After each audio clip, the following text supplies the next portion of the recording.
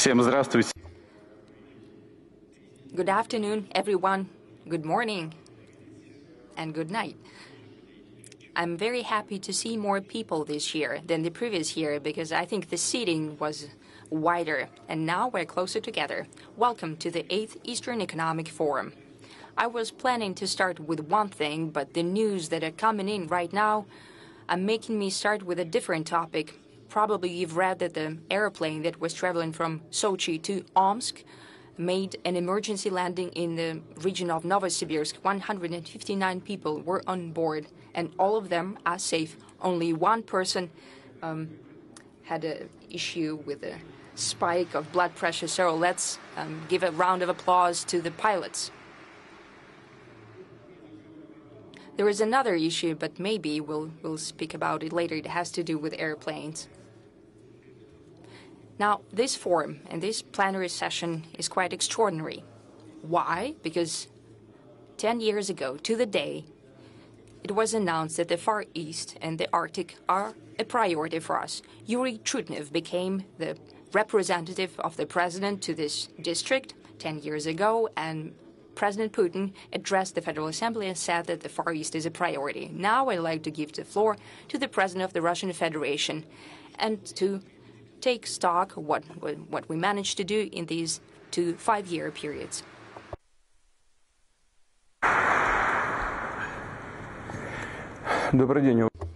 Good afternoon, dear friends, Your Excellency Pany Yathotou. I'd like to welcome our guest. Please give a round of applause to Her Excellency. Our moderator just spoke, just welcomed the audience and said, Good morning, good afternoon, and good night. Here, when we come to the Far East, indeed, it's a mixture of the times of the day. Is it the afternoon, or is it the morning, or is it the evening? But we are not confused about one thing.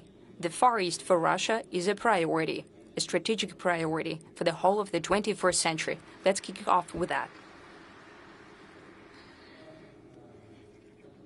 I would like to welcome the participants and the guests of the 8th Eastern Economic Forum, which per tradition has gathered heads of companies, experts, and representatives of authority from our country and from dozens of other countries of the world to jointly discuss the promising strategic dimensions for the development of the Far East of Russia, the Arctic, and the whole of Asia-Pacific region.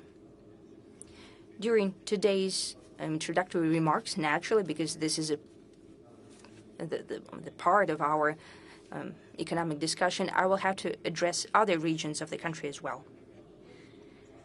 So we've gathered to take stock of the main trends which define the dynamic dynamics of the international business ties. We know fully well and we see the past changes and the continued changes in the global economy, including due to the fact that some of the countries, first and foremost the Western countries, by their own hand are demolishing the system of financial, trade, economic ties, which, which they have built to a large extent. It is very important that amid this, there is an expanding space of true business cooperation in the world, cooperation of the countries that do not yield to any kind of external pressure but follow their own national interests there are more and more such states in different regions of the world. Such states place at the center of their policy not some short-term matters in politics, but rather the promotion of their own projects in sphere of transportation, energy, industry, finance, and in humanitarian sphere. Such projects that can and do bring direct long-term benefit to the peoples of these countries. In essence, we see the birth of a new model of interaction and relations, but not following the Western patterns, not for the select few, the select golden billion, but for the whole humanity, for the whole functioning and emerging multipolar world. It is in this model, the constructive energy of openness and being oriented towards a tangible result is becoming a strong competitive advantage of Asia-Pacific region the key factor that defines, and I think will do so for the years to come, its global leadership in terms of economic growth rate. I'd like to highlight that last year, Russian trade with Asia-Pacific countries increased by 13.7%, and during the first six months of this year, it gained yet another 18.3%. So 13.7, that was the increase of the past year, and in the first six months of this year, 18.3. We expect that our trade with Asia-Pacific states and our economic relations in general will continue developing because Russia and our Far East are open for stronger trade and cooperation ties, and the potential of such cooperation is hard to overestimate. Far Eastern Federal District makes up 40% of the Russian territory. It is home to almost half of our forests and gold, more than 70% of fish stock and diamonds, more than 30% of titanium and copper, and so on. Most important strategic enterprises, seaports, and railroads are located here. In essence, the role of the Far East for our country, for its future, for the Russian standing in a multipolar world is of tremendous significance. We are fully aware of that. That is why I would like to repeat what I have said during the address to the Federal Assembly 10 years ago in December 2013, and I said it at the very beginning. The advanced development of the Far Eastern region is our absolute priority for the whole of the 21st century. It's a common responsibility and a task of the government, regions, major Russian companies, both with both private and with public share. To organize such work over the past years, we've built an impressive legal framework. We've elaborated solid and modern principles of economic and social development of the Far East, as well as the Arctic, yet another of our strategic priorities. The moderator have, has asked what are the results, what we've managed to achieve together in this region, what we've managed to achieve over the past 10 years. First and foremost, that has to do with the, with the economic, economic complex. In order to develop industrial complexes and high-tech productions, in order to create new jobs, we've offered to give special tax, administrative, and custom preferences in the Far East. We've taken upon ourselves to build infrastructure, install utility services to the industrial platforms, and such support for businesses is provided at the territories of advanced development and the free port of Vladivostok, though this port has um, some other territories added to it. Since the past year, special preferential regime has been launched on the Kuril Islands. But also, it has um, more beneficial conditions that the advanced territories with longer time frame and the tax cuts is even higher. I would not go into details not to spend time on that. Thanks to the public support of the foresting projects, investment agreements have been signed totaling more than 7.7 trillion rubles. Of them, 3.4 trillion have already been invested. 125 jobs have been created, and about 700 new enterprises have started their work. Such milestone projects are being implemented, such as a gas processing plant, one of the largest in the world, as well as a gas chemical facility in the Amur region, Nakhodka mineral fertilizer plant, and Zvezda large vessel shipyard here, uh, right next door. Deposits of copper and other mineral resources are being explored. Udokanskaya Baimskaya and Malmyzhskaya deposits. Important projects have been launched in agri-industrial sector. These are greenhouses in Sakhalin region and Primorsky region, fish processing in Kamchatka and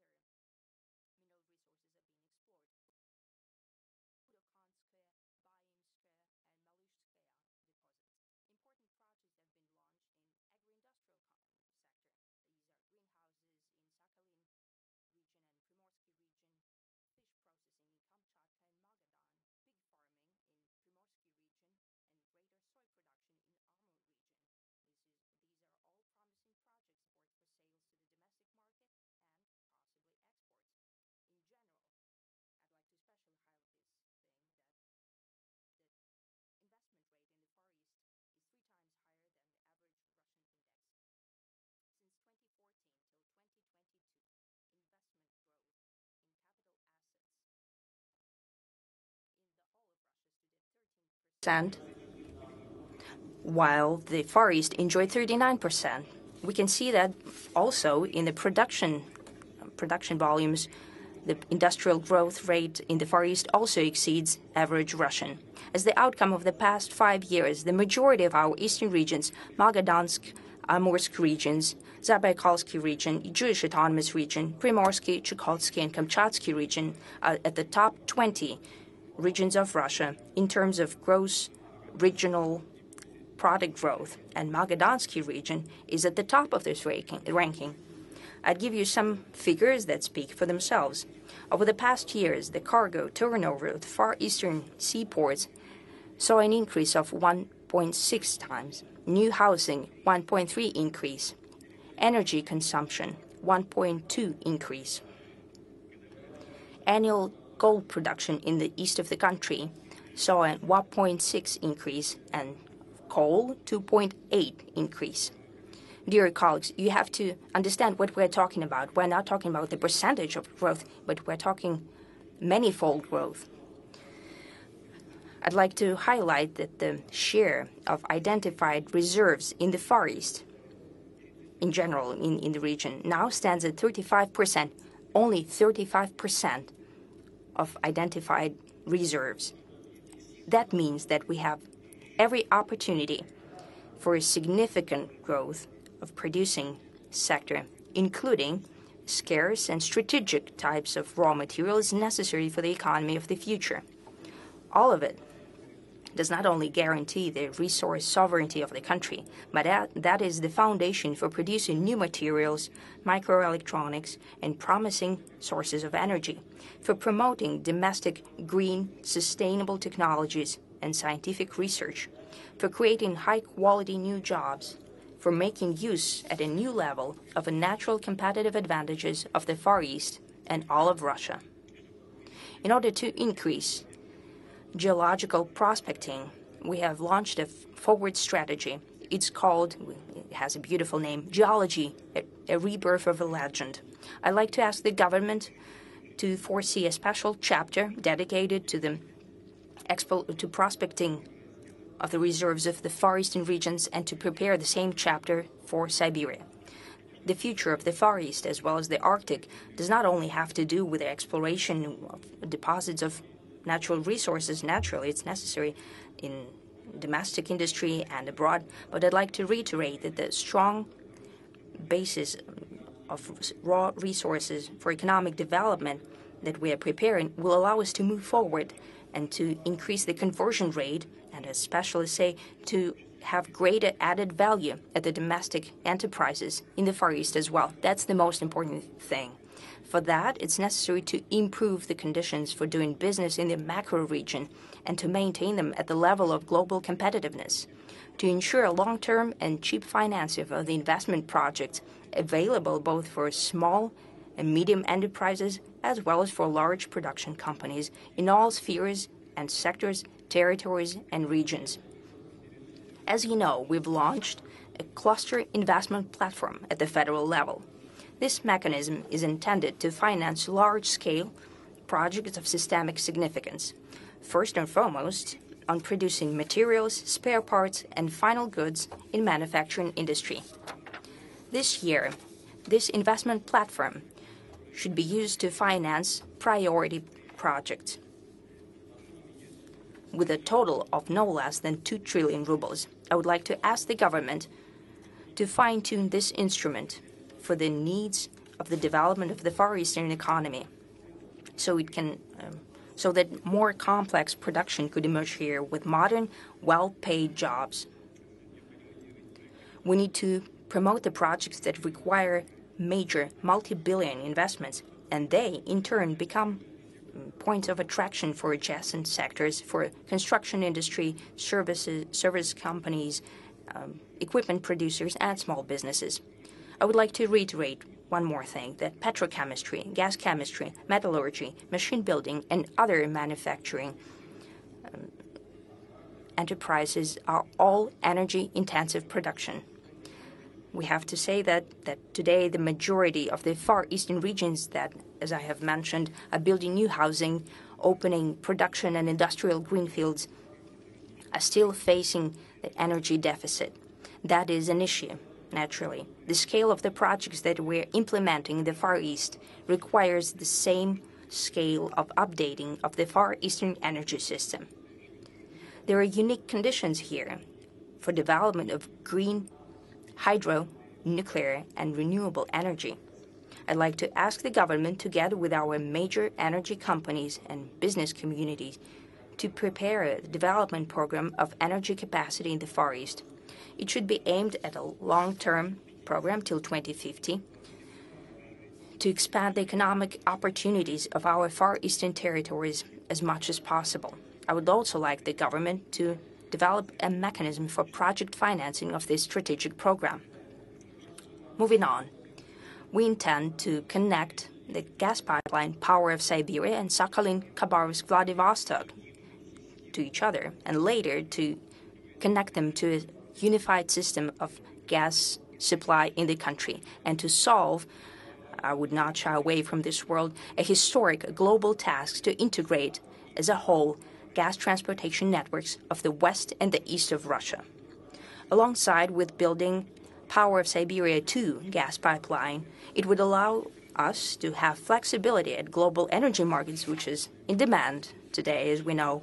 But first and foremost, to significantly expand gasification program of Buryatia, Zabaikalsky region, and other Far Eastern territories, to give the industry here in the Far East additional resources to provide cities and settlements with clean fuel. When providing gas to Kamchatka, we'll use the capacities of LNG terminal that one of our companies has already created. This dimension is developing um, very actively, including the Arctic. After a successful launch of Yamal LNG project, we've launched a new large-scale project of LNG in the polar region. By that, I mean the first production train of Arctic LNG 2. It is already situated in the production area and is undergoing initial commissioning. Yes, that's what is happening. It's great.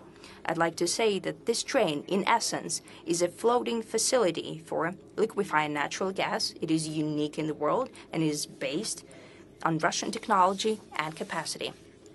It is being produced by Murmansk Center of Large Sea Facilities Construction. By 2030, the production of LNG in the Arctic zone of Russia must increase threefold, up to 64 million tons per year. With that, we've made a principal decision to produce at this Murmansk Center of new LNG trains for their work in the Arctic fields. That naturally will have a positive impact in the development of our northern regions and in strengthening the technological sovereignty of Russia. A powerful center for LNG production is planned to be created in the Murmansk region itself. I want to mention that, though it has nothing directly to do with the Far East, but however, in order to provide gas there, we'll be building a pipeline, Volkhov-Murmansk-Belokamenka. I really hope that our companies would uh, agree on mediation with the mediation by the government, who and how will build this very important infrastructural project. It's very important for the city of Murmansk and the settlements of Murmansk region and Karelia. To support the business initiative and, in general, the economy of the Arctic and the Far East and its citizens, it's important to have transportation projects. We need to expand the current logistic routes and open new cargo corridors. And a special place among these projects is held by the development of the Northern Sea Route. Last year, it was used for transporting 34 million tons of cargo. In the nearest years, the cargo flow of this global transportation corridor would only increase. That requires an advanced construction of modern icebreaker fleet, modernizing Arctic ports and their infrastructure. By 2030, of the seaports of the Arctic Basin. Last year, it stood at 123 million tons, while by the end of the decade, it should total at the level of 252 million tons.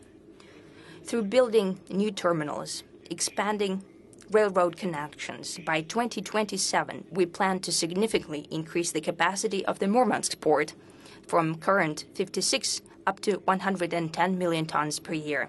We can, will continue to modernize Baikal-Amur Main Line and Trans-Siberian Railroad, and we need to work more actively there, also including the using the mechanisms of concessions, raising private capital for building bridges, tunnels, and overpasses. We've just discussed these issues with the moderators of the sessions.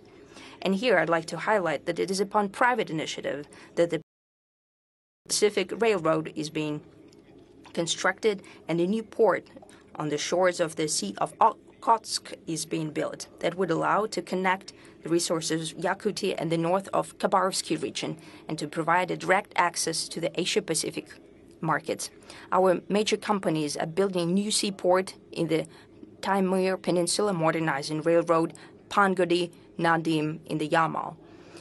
There are plenty of such examples when the business is playing a long game, is investing in logistic transportation energy projects, in building railroads, highways, seaports, terminals, and airports.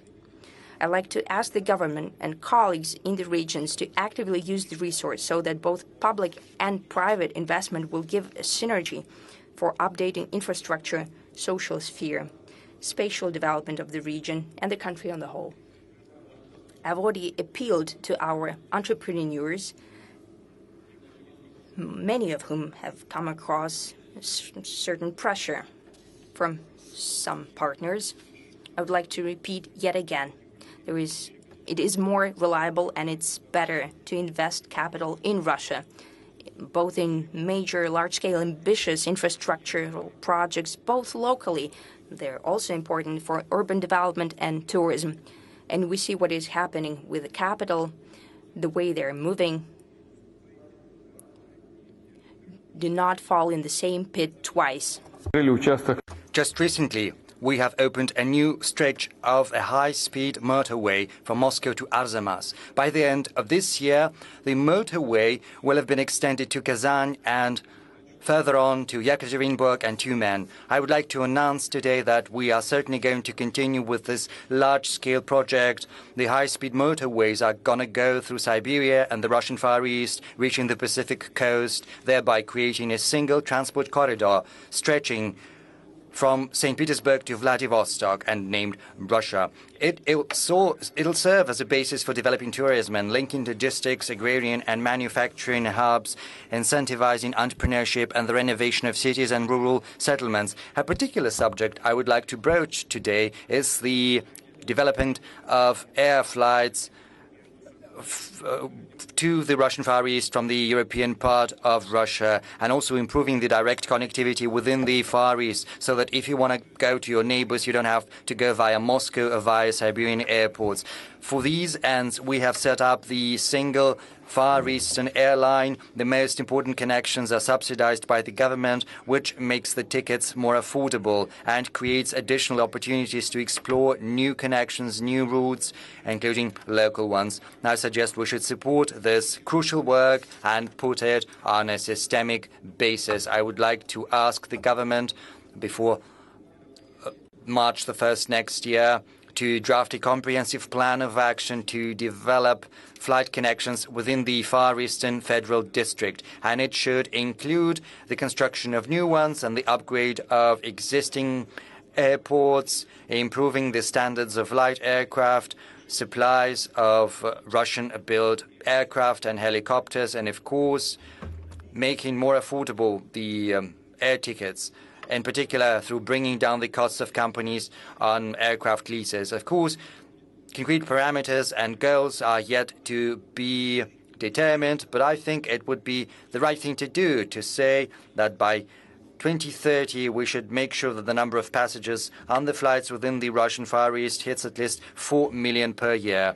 Distinguished colleagues, the most important integral goal of all of our plans we pursue in economics and transport or infrastructure in the Russian Far East is to improve the lives of our citizens, to create comfortable, modern environment for studies, for work, for recreation, and for bringing up children, and to make sure that there is a steady increase in the population in the Russian Far East. To these ends, we've launched a number of mechanisms, including the Far Eastern Hectare. More than 119,000 people have got a land plot to do business, open up a production or a tourist facility, or build a house of their own. And I will remind you of the tasks we have set by this autumn. We need to draft a legal framework for the construction of individual housing across the country. The thing is, this program should include escrow accounts similar to what's being done with apartment buildings to add an additional layer of protection for the money of our citizens and attract additional funds and make it easier to secure a mortgage to build a house of your own. I would like to draw the attention of the government to the following fact. These mechanisms need to start working before the end of this year across all of the country, including the Russian Far East. I would like to point out that in the Far East, special terms are provided for mortgage. It's up to 6 million people for a maximum of 20 years at no more than 2%.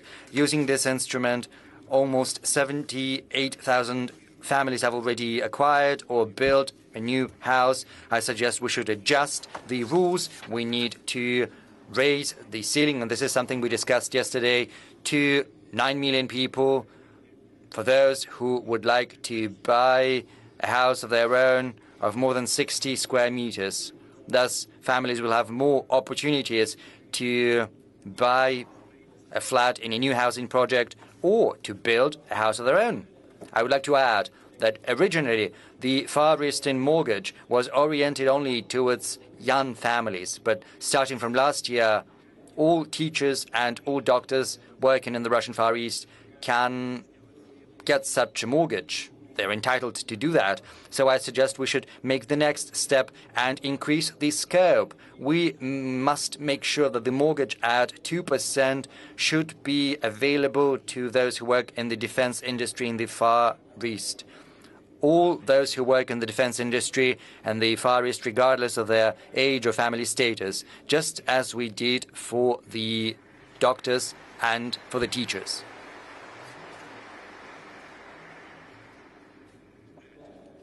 Moving on, we have proposed specific mechanisms to develop housing in the Russian Far East, including the uh, Far East Quarter program. Companies uh, building neighborhoods get the same preferences as those who work in advanced special economic zones. As a result, when design is carried out, apart from the building itself, you also create an urban environment, social infrastructure, kindergartens, uh, clinics, and sport facilities. Uh, there is a new satellite town constructed under this mechanism, and it's going to be home to more than 80,000 people. I would also like to say that in order to encourage comprehensive development of social infrastructure in the Russian Far East, a special presidential subsidy has been introduced under this program uh, 1,500 facilities have been constructed, upgraded, or equipped in all the Russian Far Eastern regions.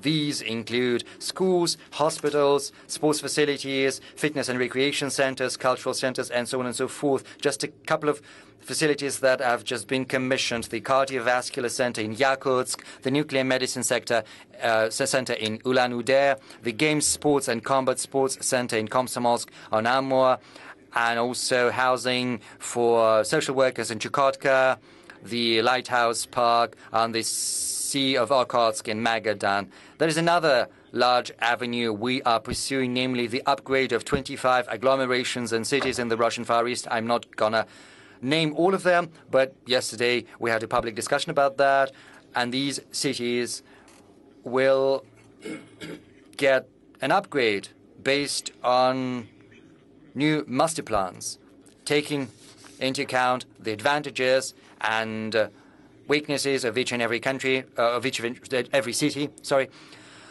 and uh, based uh, also on the urgent and longer term social, environmental, and logistical goals and the um, prediction for the dynamics in the labor market, demand for housing, and so on and so forth.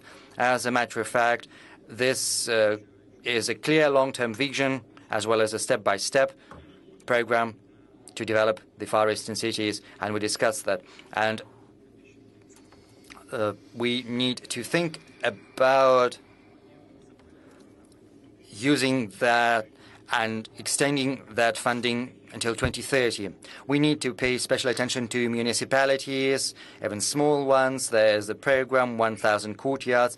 Under this program, last year, 1,245 public spaces have undergone enhancement. Another 500 are going to go through the similar program this year. And I would like to emphasize that we have decided that there needs to be a special Far Eastern section at all of our developmental programs. Thanks to that, we have acquired a very good pace of uh, government investment in the projects in the Far East, and this level, this dynamics, these Far Eastern priorities and our government investments need to be preserved. Moreover, the Far East should not just be an accelerated economic, social uh, development territory or accelerated social and urban development. These plans and projects, uh, notwithstanding, we should never lose sight of the need to care for the unique ecosystems and uh, preserving hundreds of rare species of flora and fauna.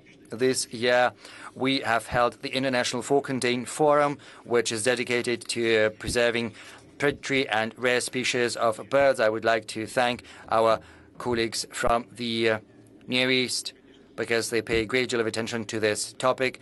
Distinguished colleagues, we are going to continue working with you on this uh, humanitarian subject, which is very interesting.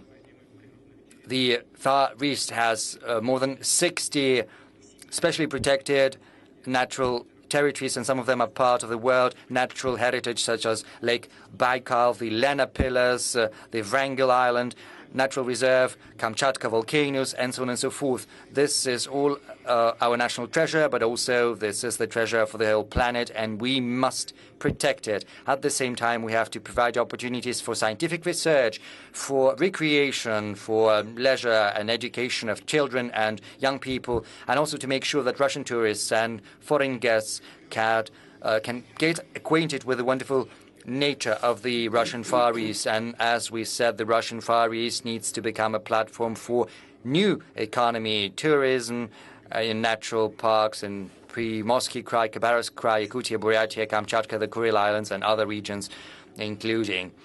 Starting from uh, September 1st, we saw the entry into force of a law that creates a legal environment and decent conditions for ecotourism. It also lays the groundwork for tapping the potential, the scientific and tourist potential of uh, specially protected natural territories, uh, which need to be provided with the requisite infrastructure.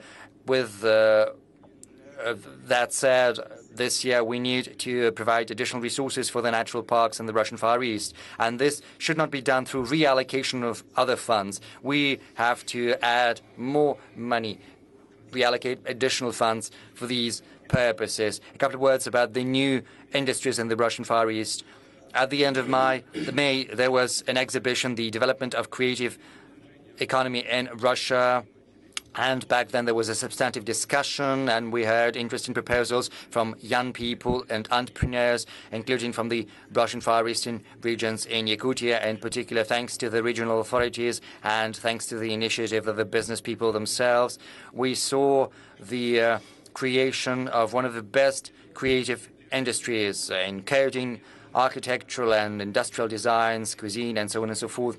And this experience is gonna lay the groundwork for the regional standard for the development of creative industries. And it's important to make sure that Russian brands are more recognizable. I've just met the moderators of the sessions. I've spoken about it already, and the moderators have informed me to my joy that this uh, process is uh, going forth at a very good pace, and we uh, believe we can support the demand for Russian products, for Russian services through exhibitions and festivals. The first fair of creative industries took place in August in Novosibirsk, attended by 70 Russian producers. 17,000 people visited it within the three days. The second fair has been hosted by Vladivostok in the recent days, and this event has been part of the cultural program, this forum. And I believe that the other regions of our country are going to take up the relay and continue with that initiative. And another issue with the Russian Far East, there has been a new decision on the new industries and economics and culture and sport. We have agreed that the Federal Eastern Federal Federal Eastern Federal District is going to host a yearly cyber sport tournament.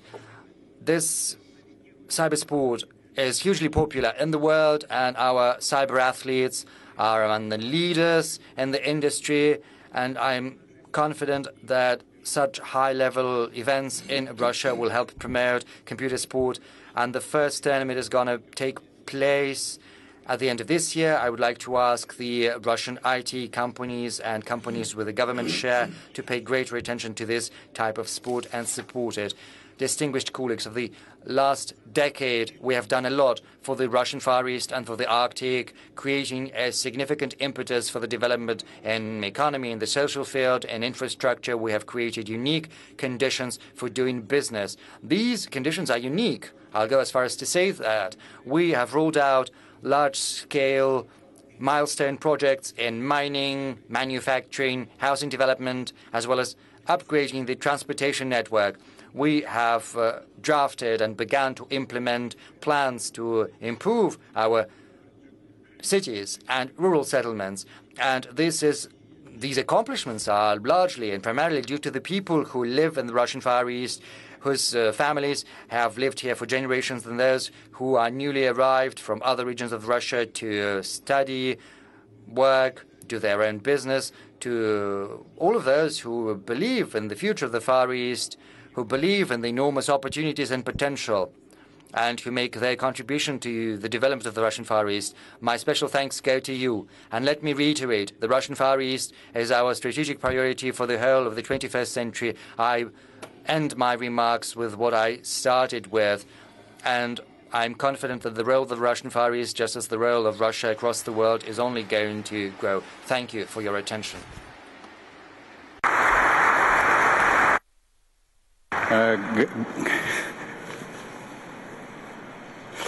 Дружеское рукопожатие. Well, a friendly shake of hands. Um, Madam Vice President, uh, I will give uh, the floor to you a little later, if you don't mind. First, I would like to ask several questions and address these questions to uh, the President. And these questions are related to what we've just heard. Well, it's interesting to hear what you have just said about the uh, priority attached to the Russian Far East because it might seem that the priority currently is in the West and we are sparing no effort. Well, there are many priorities and the Russian Far East is one of the main priorities. So this is the third time you say that, so we will keep that in mind. You have mentioned M12 motorways, so a huge thank you and also my thanks go to Marat Shakirzyanovich.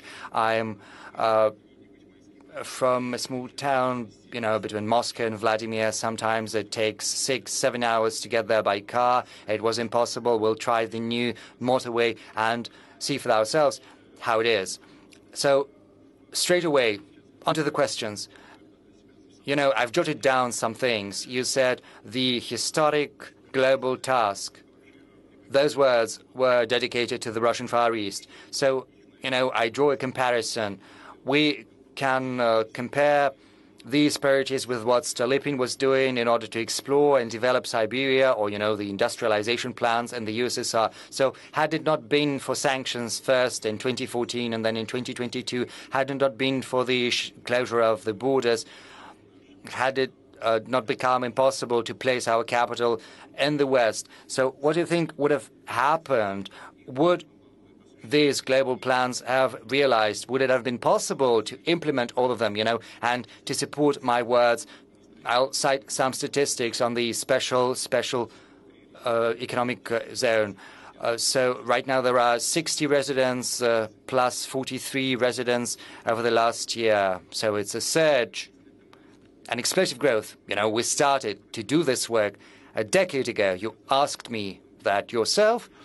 And I said that. So we began working here long before all the developments that have been transpiring starting from 2014. And we started this work because we saw certain trends in the development of the world economy. We saw the emergence of new centers of influence, new centers of economic development. Well, I don't need to name those countries for you. Everyone is aware what I'm, of what I'm talking about. So we understand there is a pivot happening. And these trends are enduring. Moreover, they are becoming even more pronounced. But what happened after 2014, after the Western countries supported a coup d'etat in Ukraine after they started a war in Donbass. Many processes have got a spur becoming accelerated. So the only thing we can lament is that we didn't implement timely all the plans on infrastructure development which we used to have in the Russian Far East. The government uh, made a small miscalculation. We didn't expect such a great volume of uh, cargo flow because of the recent years. It's become even bigger than anticipated, but we are still doing all right. The plans are there. The plans were drafted before, and it's going to be easy to implement them. You know, we've just spoken to the moderators. We have spoken about the plans for the development of the Eastern Polygon. We have the necessary funds. The investors are willing because there is a market ready for them and they are willing to invest their own money because they see a return on their investment thanks to this large flow of uh, cargo freight. So the, the return on investment is quite high. Yes, we started this quite some time ago. But what's happening in the world economy over the recent years has become an additional incentive for us to look to the east. But you said that we should not fall in the same trap twice. So, are there those who still have not understood? Well, if you're interested, I think many in the business community are interested in that, you know, there is a trend. Many business people in the past used to build platforms for themselves, and then they ran into problems when their assets legally earned were confiscated or seized. You know, the money, the assets of our companies, this goes beyond the pale. Those who are doing that, who've done that, barely realize the negative consequences for themselves. You know, the restrictions on settlements in dollars. What's the consequences uh, of the consequence of that? It only makes country other countries think about their own currencies or uh, creating alternative payment systems. Many are rethinking if they need to store their money in the West, in the US, if they need to invest in the securities. I can assure you this is happening. Anyone would start thinking about that. Oh, just remember the freeze of our gold and uh, foreign currency reserves. You know, we, we've got back even more money than that. It's not about those 300 billion. They are simply undermining the trust in their own system. And the same goes for the restrictions on trade that they've introduced. So only God knows. They're the ones to blame for these negative consequences. And these negative consequences will realize are already happening. that this is not what we sought.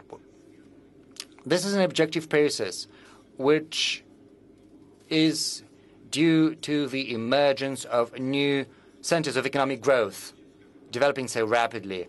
Yes, and I'm going to talk about the traps you shouldn't fall into. So, be that as it may,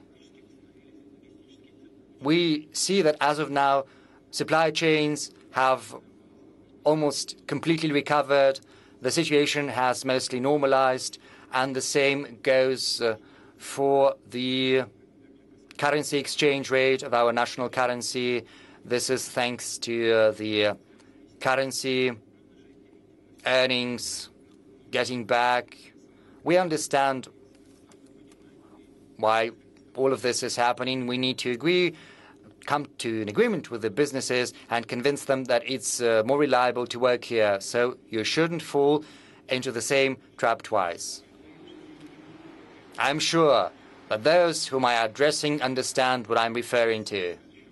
So my next question is about the relationship between the government and the business that is getting back, in particular, those businesses that arrive on Russky Island before the uh, forum, I had an interview with uh, Mr. Belousov. I asked him about the relationship between the government and the business. He uh, said that the government is the senior partner and the business is the inferior partner. Did he say that? Well, he used to work for Gosplan, you know, for the State Economic Planning Agency. That's why he said that we have to be partners on an equal footing.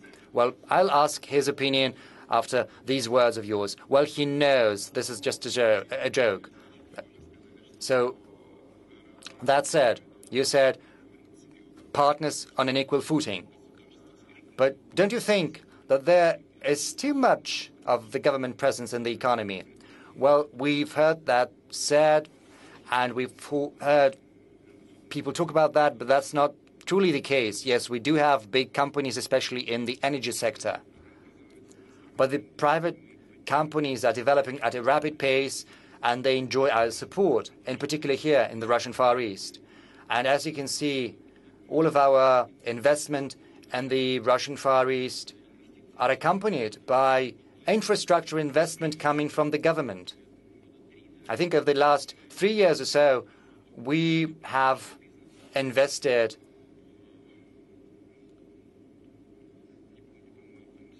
I don't remember the uh, precise figure, I think uh, 15 billions or so to support the business. And this year, 8.5 billion. And in the next three years, another 33 billion is going to be invested. So we are also providing preferences uh, to our companies, especially here in the Russian Far East. Let's stay here in the Far East as we're here. I also mentioned the advanced special economic zones. Just think how many preferences they enjoy in terms of social contributions, the uh, profit tax, the property tax, and as far as the Kuril Islands are concerned, the preferences there are even bigger than in the advanced special economic zones here. So this relationship, this cooperation between the government and the business is already yielding some very good tangible results. Furthermore, there's another important thing, in my view between the government and between the business circles for decades, maybe two decades, we've managed to foster a very good dialogue. The government barely makes any economic decisions without prior consultations with the business associations. We're always trying to take into account the view of our business partners and also the trade unions. You've spoken about the advanced special economic zones, the special economic zones, tax preferences. I've spoken to experts in this field. They are saying that this is not enough. What is required is an infrastructure, you know, like gas, utilities. This is lacking. Yes, that's why I said that. You know, 25 billion. That's how much we spend on the infrastructure. I remembered. So uh, 8.5 within the first six months this year and another 33 billion in the next three years. We are doing that. We understand we need to do that. We need that uh, because we need to support the infrastructure. This is how our support uh, is going to be realized. And we, spoke a year ago. The currency exchange was 50, 60 for a dollar, for a euro. Right now it's 83 rubles for a dollar, so the volatility rate is very high. And uh, in 2022, the Russian currency was the most volatile in the world. So, amid these conditions, how is it possible to make any predictions when you do not understand what's going to happen to the national currency? Well, truly, it's a question that requires a careful study you know, by the central bank, by the government of Russia, by the financial authorities, but in general, I do not think that there is an insurmountable problem there. The difficulties can be overcome. What's happening is uh, related to a number of factors, in particular, uh, with return or non-return, partial non-return of uh, the currency profits of our biggest exporters. The thing is, at the first stage, you you mentioned when uh, one dollar cost uh, 60 rubles, the supply chains for import had not yet been set up. Right now, the import is growing into the Russian market, which means that there is a bigger demand for foreign currency. There are other factors in play, but these factors can be, can be managed. We see them, we understand them. The central bank sees them as well. It had to raise the interest rate to 12.5%. The thing is, the inflation started to pick up a little bit. Right now, it's 5.2% or so. I don't remember exactly. Yes, 5.2 annualized. So the central bank had to respond. It couldn't help responding, and I think uh, the uh, measures taken were timely. Yes, it tightens the space for lending and uh, limits a little bit the uh, economic expansion, but it is a significant factor that brings down the inflationary risks. Everything needs to be done, done timely. So this is a manageable situation. I'm not going to go into detail because this is a very delicate, sophisticated subject, but it can be managed. So that said, the government intends to regulate or introduce certain limitations, you know, because when the uh, ruble weakened last time, the advisor to the president, Maxim Oreshkin, had to write a special column, uh, an article. Then the uh, ruble appreciated a little bit. You know, there are loopholes, as you say, when money is being funneled. Well, the thing is, they're trying to scare. Let's do that peacefully. Otherwise, we'll have to introduce uh, restrictions. You know, oblig obligatory return of uh, forex profits, but no one is going to do anything drastic about the central bank and the key rate, 12%.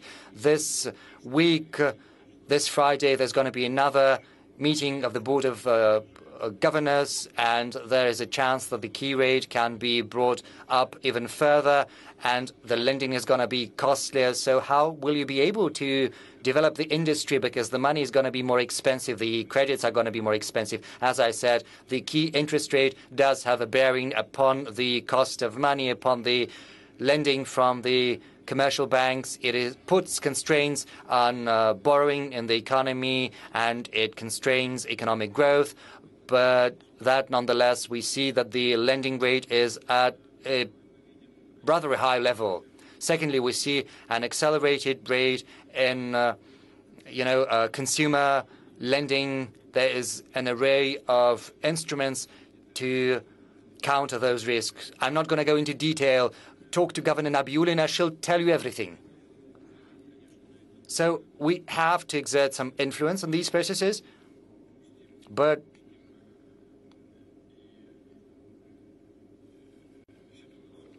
but should we lose the moment and there's going to be an unconstrained inflation spike, it's going to be even worse for the economy because if the inflation is uh, roaring high, then it's almost impossible to build the economy. There are no good and even better solutions. There are difficult decisions and more difficult decisions that need to be made in a timely manner, and this is what the government up until now has been doing quite efficiently to boot. And another question about the mortgage. I'm terribly sorry, but I need to add that we need to understand yes, the price of uh, credits is growing, but we have a whole range of instruments for the most important industries, for the most important projects of great importance to the national economy. We also need an array of support measures to get credits. Some uh, credits are accompanied by preferences, by concessions. there is a whole range of mechanisms and tools to assist companies involved in large-scale investment. And it's done together with the government. Once again, I'm not going to enumerate all of them, like, you know, industrial platforms. The business community is well aware, and this is going to continue. But there's another issue. Should the credit become costlier, then the government will have to give some thought to providing more funds for these instruments. It'll involve additional expenditure, and this will be tied to the resilience of our state budget and to its balance, but we can work with that. You said about expanding the concessionary mortgage lending here in the Russian Far East. The central bank has uh, said several times that you know there's a bubble of uh, mortgage in Russia. So, do you see any risks? Yes, we see the risks and we are countering them. The thing is, there are 12.5 million people living behind the Ural Mountains in the east of the country, so that's not too big of a burden for the economy. And the last question before I give the floor to Madam Vice President, the question of great importance to the business. Are you going to raise the taxes or not? Is there a need for that? Right now, the government does not see a need for that. That is very important for the business community right now. I would like to give the floor to you, Madam Vice President. But before that, just a couple of interesting facts about Lao PDR for the audience. I think that is important. First, the diplomatic relations between the USSR and Lao PDR were established in 1960 on October the 7th. So that's yet another, you know, uh, opportunity to celebrate. Yes, we'll celebrate together. Starting from 2011, there is a strategic partnership between Russia and Lao PDR in the Asia Pacific. Another fact, Lao PDR is the country that suffered the biggest bombardment in the world. More than 200,000 bombs were dropped on Lao PDR. 350 Lao PDR, 1,000 Lao PDR citizens died in those uh, bombardments during the Vietnam War. Moreover, Lao PDR is still uh, devoted to the ideals of socialism. Then there's the pioneer movement in Lao PDR. I didn't know about that, but when I got ready for this session, I learned about that. Fifths, uh, Lao PDR citizens still love baguettes, you know, and uh, white bread. It's like a legacy from the French. And Lao coffee is considered to be one of the best in the world if I read that correctly. and Another thing that is important to Russia, for 30 days, you can spend your time in Laos PDR without a visa for Russian citizens. So uh, Welcome to Laos and welcome to Vladivostok. Madam Vice President, over to you.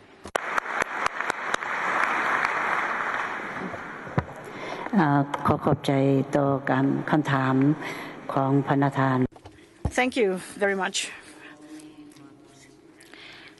I'm very delighted and privileged to have the opportunity to participate in this eighth Eastern Economic Forum this time.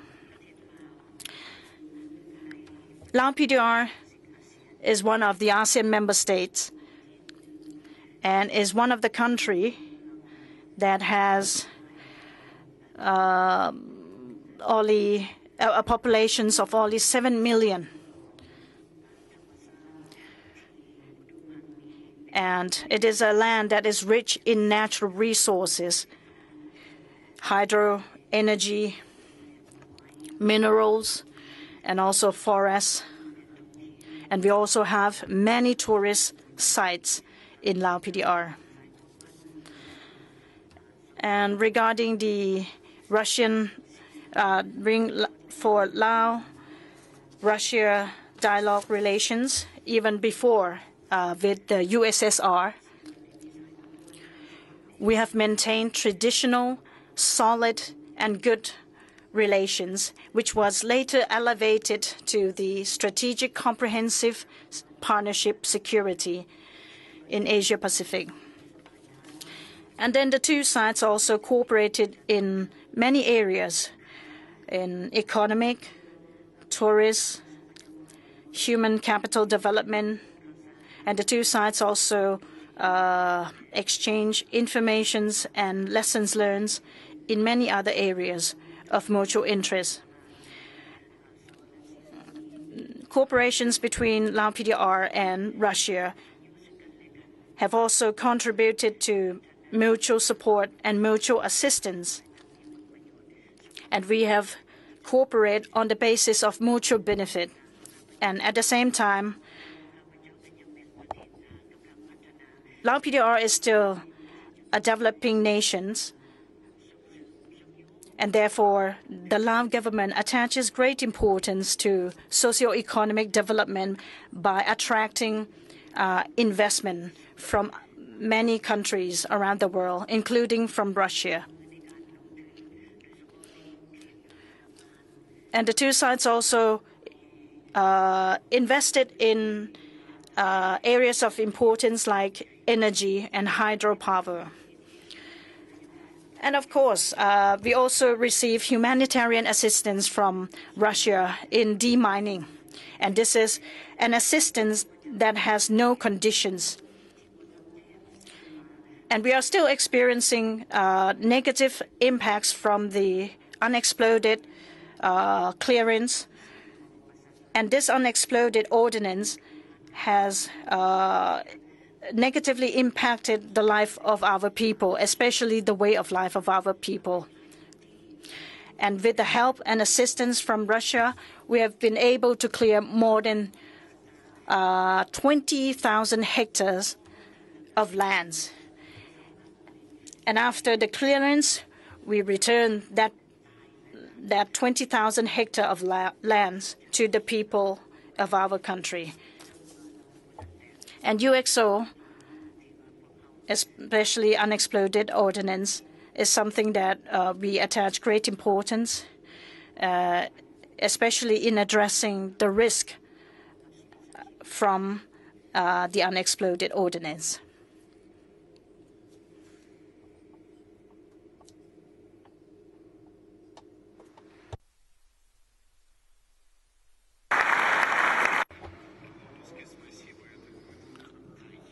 Koptai in Lao means thank you. Yeah, so I'm right. Vladimir Vladimirovich, question to you, and later I'll ask you a question. Back in 90s, we stopped to be a friend or supporter of many other countries. For example, Cuba, Laos. Um, is it difficult for us to restore these relations presently? And is it possible to elevate them to the same level we had back in USSR?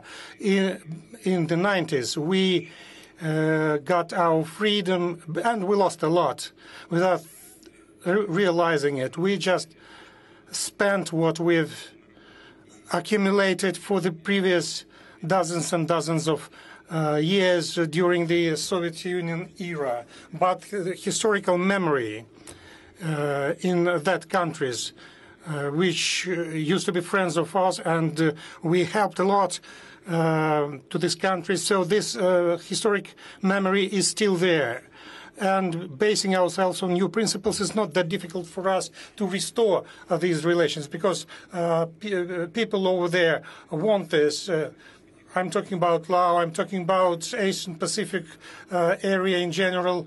It has to do with Africa. For example, recently we had a Russia-Africa summit, and I was surprised with the openness of uh, African people, with their, with their willingness, willingness to work with us. And actually, I kept thinking, it's not because we helped Africa to get their independence and freedom to fight colonialism, although it was very important and they do remember this, but they still remember other things. Well, I believe that uh, the main, the most important thing was that we have never been a colonial power. Nowhere. Our cooperation was based on equal, on equality or our desire to support and uh, help.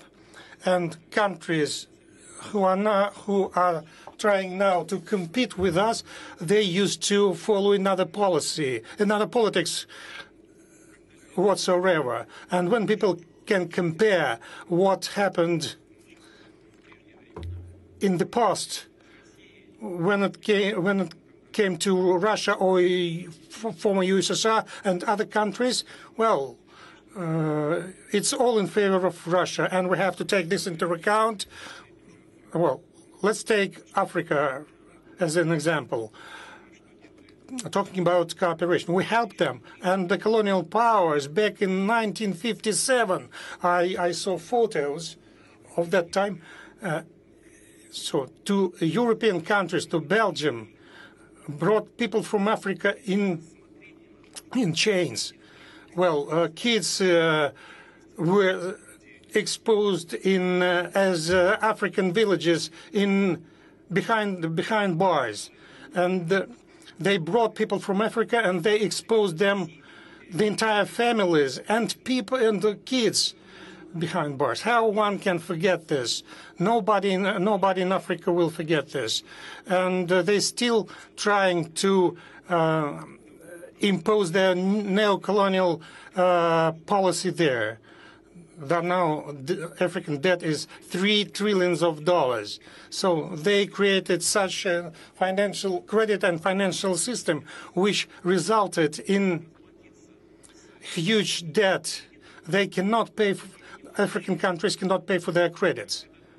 By definition, they are not capable of doing this. It's not credit type relations, it's like a contribution. And we follow completely different approaches. We did this in the past and we keep doing this now. And this is our uh, competitive edge when it comes to our cooperation with our partners and with those whom we had uh, specific relations back in the Soviet Union and with those with whom we are developing our relations presently. Those are our friends as well. That's why here I cannot see any particular difficulties, especially when it comes to restoring our, our former positions. Well, talking about this, another question.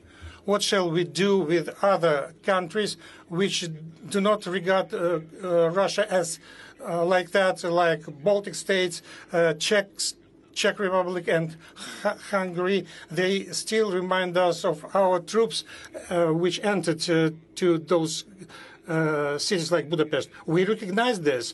We recognize this as a mistake uh, uh, by the Soviet Union, and it actually undermined our relations one cannot, when it comes to foreign policy, one cannot do anything which undermines interests of other countries and other peoples.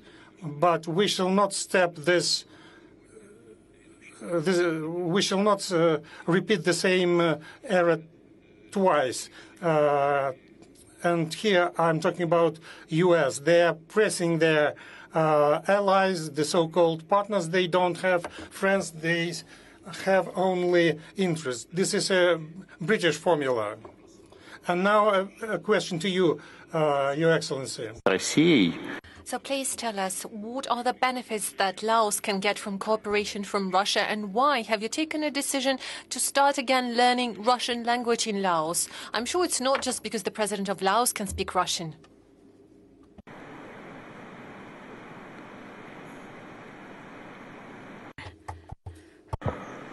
Um.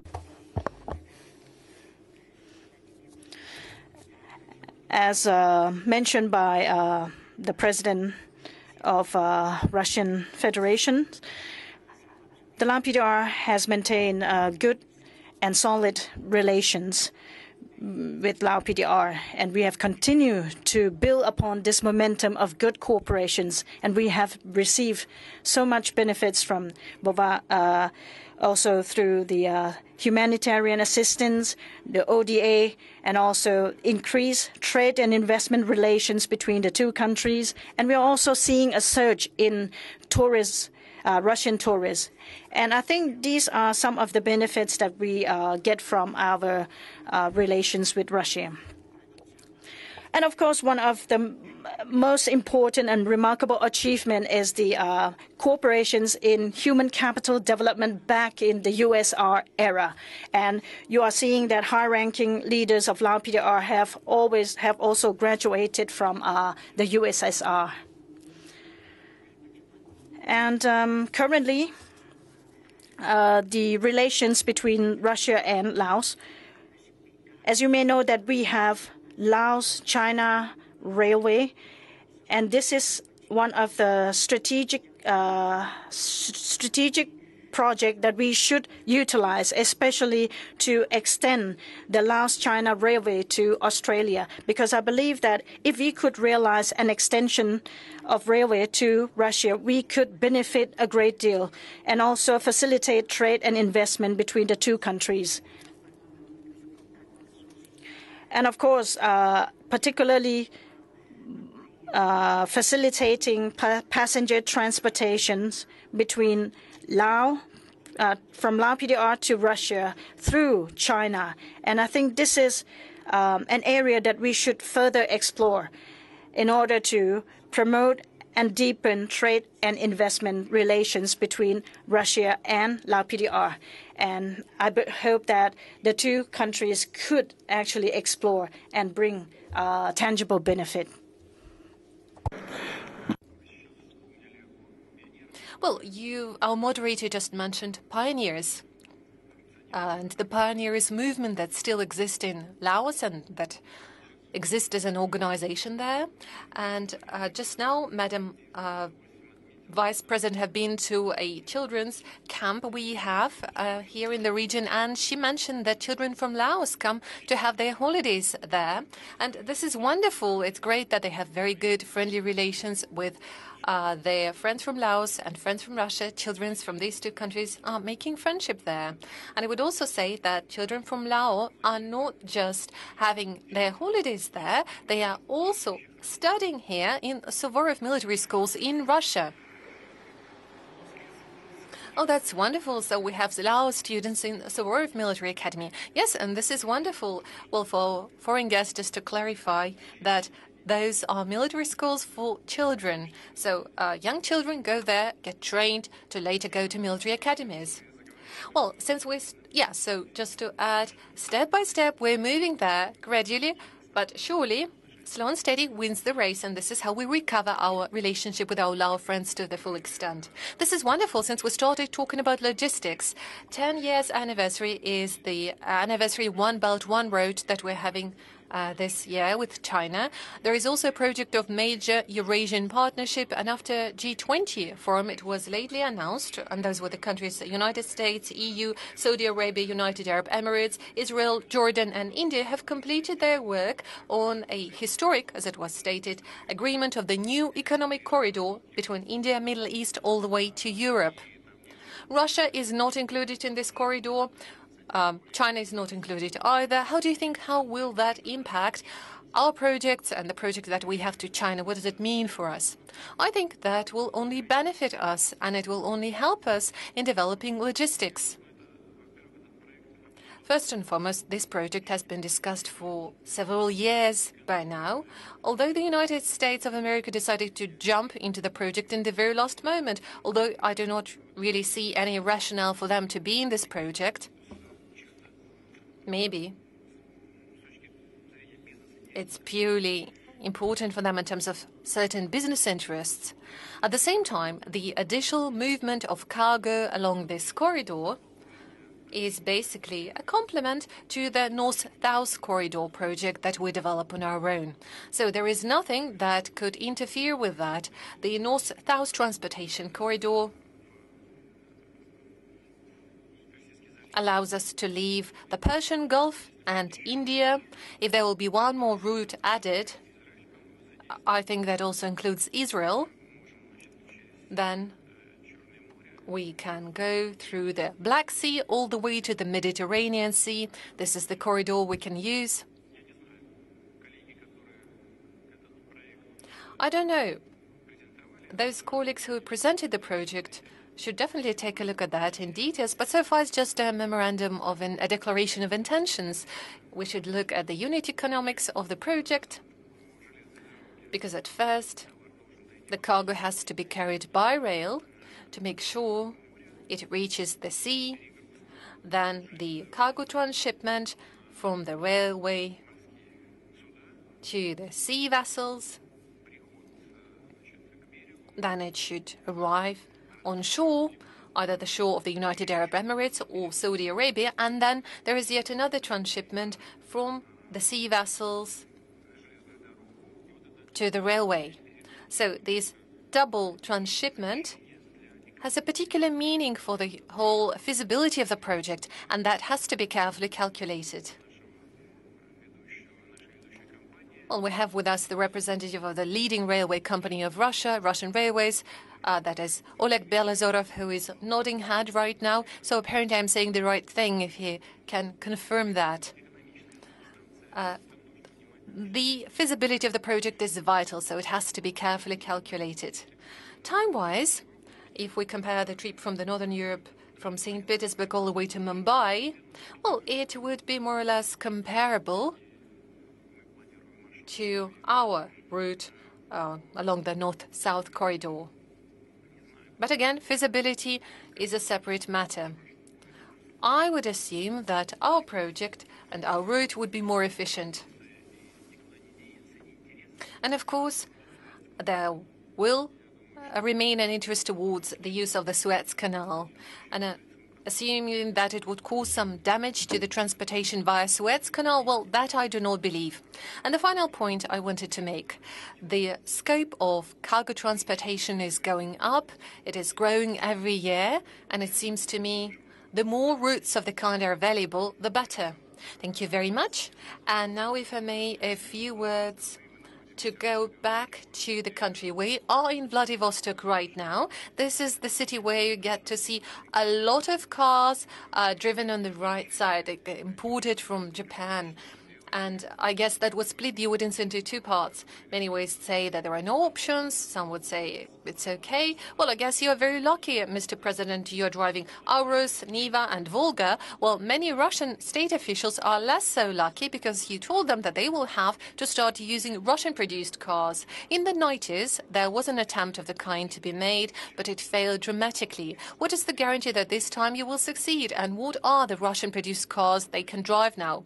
Well, back in the 90s, there were not too many cars available. Now we have those cars. Well, probably they are somewhat modest compared to Mercedes or Audi that were only being procured in the 90s in huge numbers. But I guess in this regard, we should learn from many partners of ours, namely our partners in India.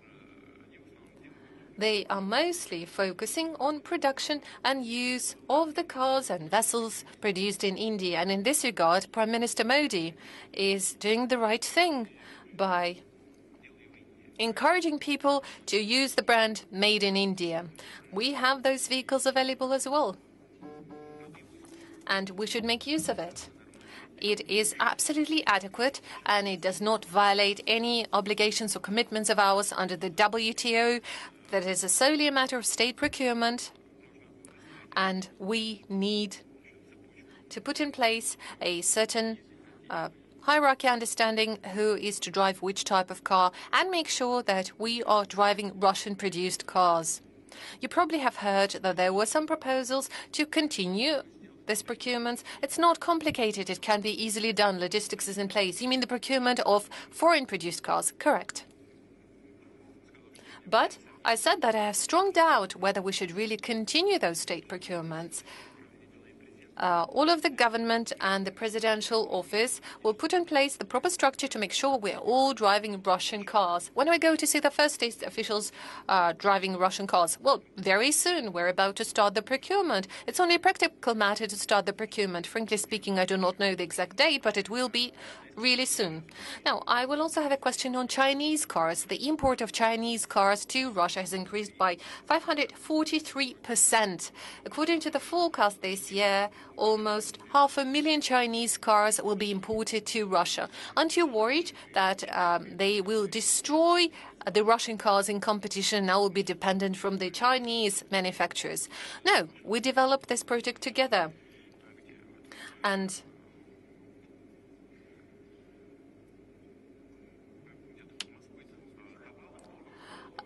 Well, we now have an assembly point for the Haval cars in the Tula region. Uh, the assembly lines are here in Russia, and those are good, decent cars. We are developing Russian cars as well, and that's good. It's only good that we develop more and more using our own production sites and increasing the degree of localization. Uh, some would be produced in Moscow. Just lately, the mayor of Moscow reported to me on the progress in this regard. Uh, the same will apply to the Lada factory. We need to develop this production. Obviously, when our manufacturers were producing around 100% of cars that were only being assembled from foreign spare parts, from imported spare parts. Well, what kind of production is that? We need to increase the degree of localization. It certainly takes time, but this is the right thing to do in terms of development of the automobile industry in the country. We do not have any plans to self-isolate from the rest of the world, but begging anyone by standing on our knees. It's not something we're going to do. We developed ours, our own car, but it costs a lot. Yes, that's true, but that's because the production is not massive. Once the production gets massive, it will get two times cheaper. It takes time, true, but that will be development of our own. And that is about acquiring competences and uh, getting taxes paid inside Russia, creating more workplaces. It goes without saying there are important elements that are very positive in this regard, and we are open for cooperation with those who are willing to cooperate. But state officials definitely should be driving Russian cars. Well, a matter related to cars and fuel prices is my next topic. You are personally keeping control over the fuel prices, but the latest data shows that diesel costs more than 61 rubles per liter. Uh, Petrol is also getting more expensive, and I see that many are questioning themselves what is happening. I see those discussion happening in all kinds of um, charts and WhatsApp. People are discussing the growing prices for fuel. Why is it happening in this manner? Are we going to correct this situation? Certainly, the government is engaged in this process, and I would say that in this regard, our fuel producers are right. The government should have reacted timely and in a due manner. The decisions were adopted in this regard, but just lately, in order to retain the parity between the prices on the external market and the domestic market. Later on, those mechanisms were abolished. But the government has not reacted timely to the changes that were happening in the global market due to the price increase for oil. However, this is the position that can be adjusted. Just lately, I discussed that with Igor Sechin. He has his own view on that.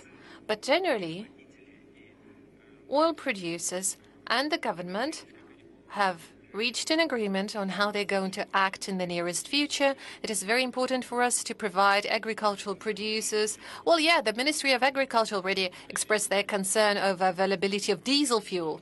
Yes, you're right. It is that there was a physical shortage of diesel, but now it is available again, and it is only a matter of price regulation. There were a number of mechanisms available, and back in 2009, the government of the Russian Federation has adopted uh, a certain solution on the matter. It was a very thick folder describing our steps and the process for interaction with the companies representing the fuel and energy sector of the country and the Russian government. It described all this process in details. It is still in force, but is no longer applied. Some other mechanisms are applied to the so-called damper mechanism I explained earlier. What's the point of that? It is about striking the balance between the prices at the domestic market and the external market and uh, it was also reduced by half, and it is now less efficient as compared how efficient it was before. But the mechanism for that are known to us. There are achievements in place, and uh, I'm sure it will affect the situation. I also have a question on the accounts chamber. Starting from November last year, it has not had a leader heading this institution. What's the reason? Uh, was Mr. Kudrin so good in what he was doing that it's hard to find a replacement for him? Well, first and foremost, uh, it's not that we have slavery here, so I can't force a person to stay and work at the Count's chamber. If they want to go and work in private business, they're free to do so. Although he was a great Minister of Finance, he was doing a great job as the head of the Chamber of Accounts, but the Chamber of Accounts is still functioning effectively. It is conducting thousands of audits. As far as I know, they have detected the violations uh, and tax areas to the amount of 1.6 trillion rubles. But they have an acting lead who is managing the work of the account. It is working well. And I guess, but by the moment the situation is rife, when the parliament chooses the right candidate to take this position, I'm sure the matter will be resolved. So it's not something that is interfering with the work of the account. There is a reason why I've mentioned Yandex. Just lately, there was an official website established by Arkady Volozh, and this website uh, states the following, and I quote. Israeli entrepreneur born in Kazakhstan, the co-founder one of the largest internet company in Europe, Yandex. Just to remind you, Volozh was born in uh, 1964 when Kazakhstan was part of the Soviet Union, but his current biography doesn't say a single word on the Soviet Union. There is a number of other businessmen in Russia who openly express their position and their views on the special military operation. So, to you personally, where is this border that one cannot cross?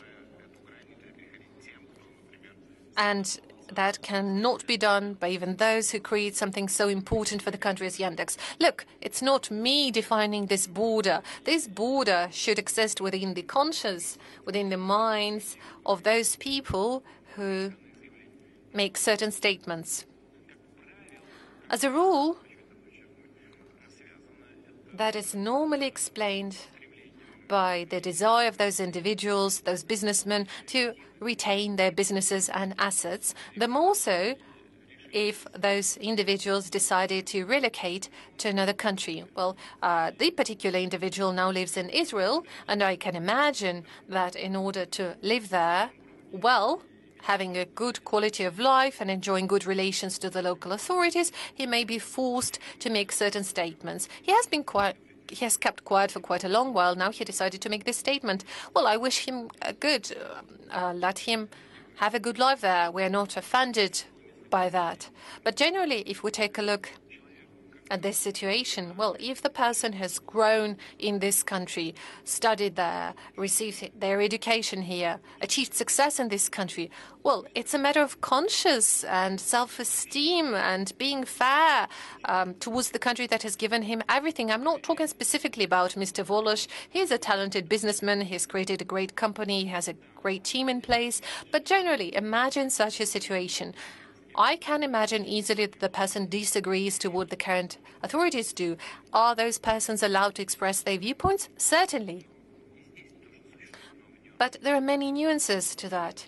You can do it differently. You can take a position of our geopolitical foes and rivalries, and you can play in their hands and by doing so, causing damage to your own country. Or you could act differently. Again, there are many nuances, and it is always to this person to define for themselves how they want to act. Who are they?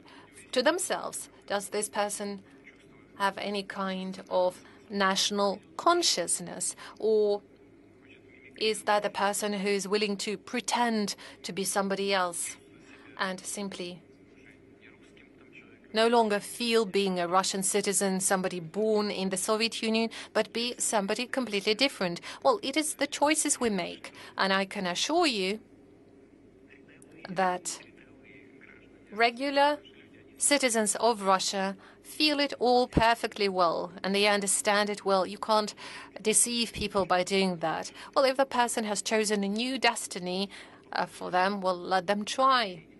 Uh, let them achieve some result by doing that. Because no matter who this person is, no matter what results they achieve, they could have done it here. Well, they have done it here already, but they can't be sure that they will do the same in another country. But this is about their choices. Talking about the new destiny, as a follow-up, in June there was an article of independent expert in Glasgow in uh, the issues on economy. Yes, I'm aware about it, but I'm just talking it uh, to the audience. I'm aware, I'm sure that you know. And uh, it's uh, the failure to make the settlements in the 90s uh, in uh, uh, Russia. Do you know who the author is? It is an independent British scientist. Do you trust British scientists on the whole? I trust scientists.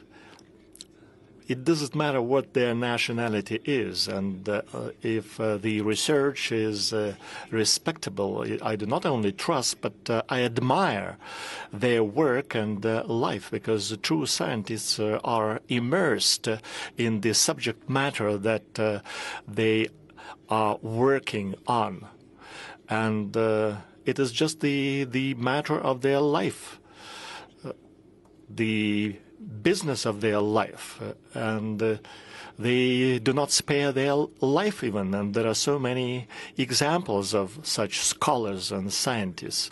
But if they're just uh, making fun, well, then uh, we realize that these are not uh, scientists. Uh, they are just uh, doing that for the amusement of the public. Let them make fun. Let them fool around. But of course, uh, uh, for fun, one can go to the circus to see the things over there. But what Anat- Mr. Anatoly Chubais did it, I don't know. And uh, I saw a picture fro- of his documents uh, on the web, uh, and uh, he's not uh, Anatoly, but Moshe Israelevich uh, in Israel. I don't know why he's doing that. He left. And he ran away, and uh, the reason might be that uh, there are some complicated uh, things uh, happening in uh, the company that uh, he has been chairing for quite some time. There is a budget gap uh, over there, financial hole in uh, the corporation that he has been heading. That's true. I'm not going to throw figures at you, but it is huge. And thanks God, there is no criminal case at the moment, and uh, there might be the reason uh, he is apprehensive uh, that in the long run it would result in some criminal case, and that that's uh, why he's now living undercover in Israel. I don't know why he needs to do that. It is uh, the opinion, well, yours is the opinion of the person who has been working in Dresden. So it's ridiculous. And uh, he's a smart person. I didn't read the article. I, I don't know. Well, maybe there are some substantial and uh, reasonable things over there. But anyway, he has been the head of the large uh, company which was uh, created for the development of nanotechnologies, at least both from the economic and financial point of view. He did not succeed in his work. A question, though strange as it is, about privatization and deprivatization. There is an idea of new privatization, and it's the topic that is high on the agenda of the big business and that is discussed over here at the margin of the uh, forum. Deprivatization is uh, the phenomenon when the assets uh, are taken by the state. And there were a few cases like that. And the businessman say that, uh, well, we do not understand whether the rules of the games have changed and uh, what the future should bring us, and the situation is quite acute. How can you comment on that? No, there is uh, no ideas or there'll be no deprivatization in the future at all. I can assure you that will not happen.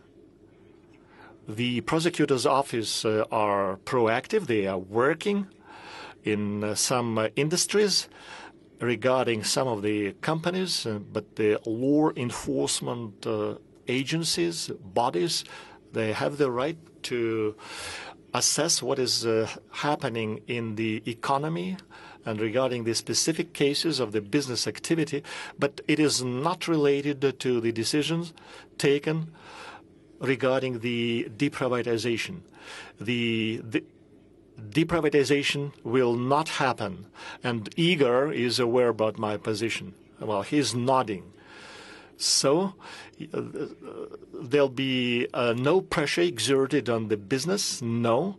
But uh, everyone should follow the should be law abiding of the applicable law. If not, then they should be ready that the prosecutor's office and the investigation committee and the audit chamber will be monitoring the situation in uh, the economy, and uh, they will be called upon all the actors uh, to observe the applicable law.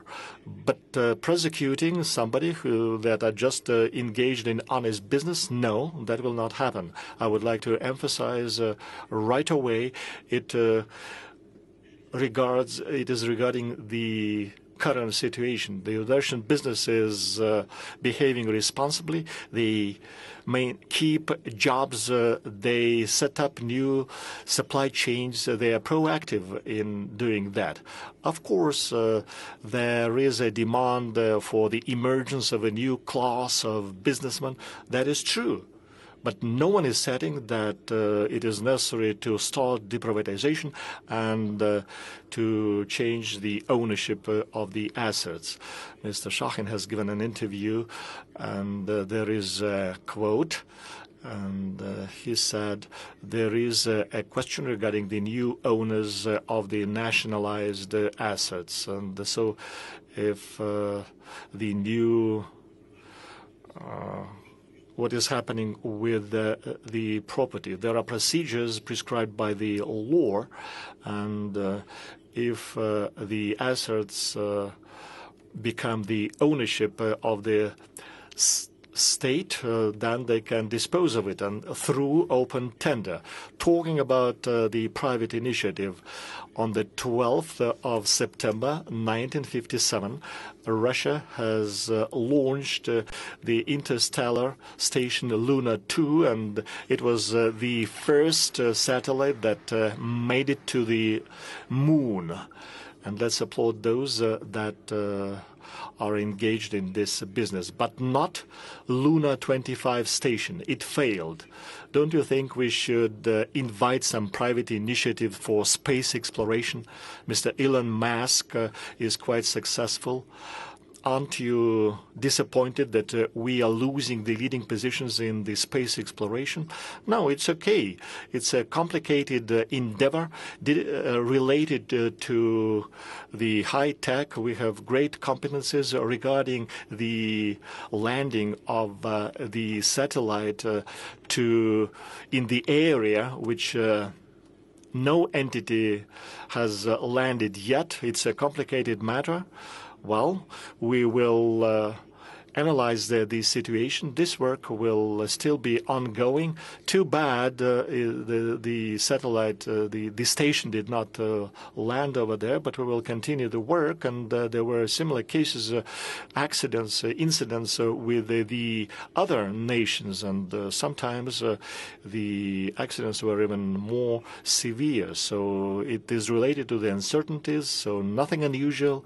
We wish we we had been successful, but but uh, anyway, we will continue these efforts and some other uh, endeavors as far as private business is concerned. And Mr.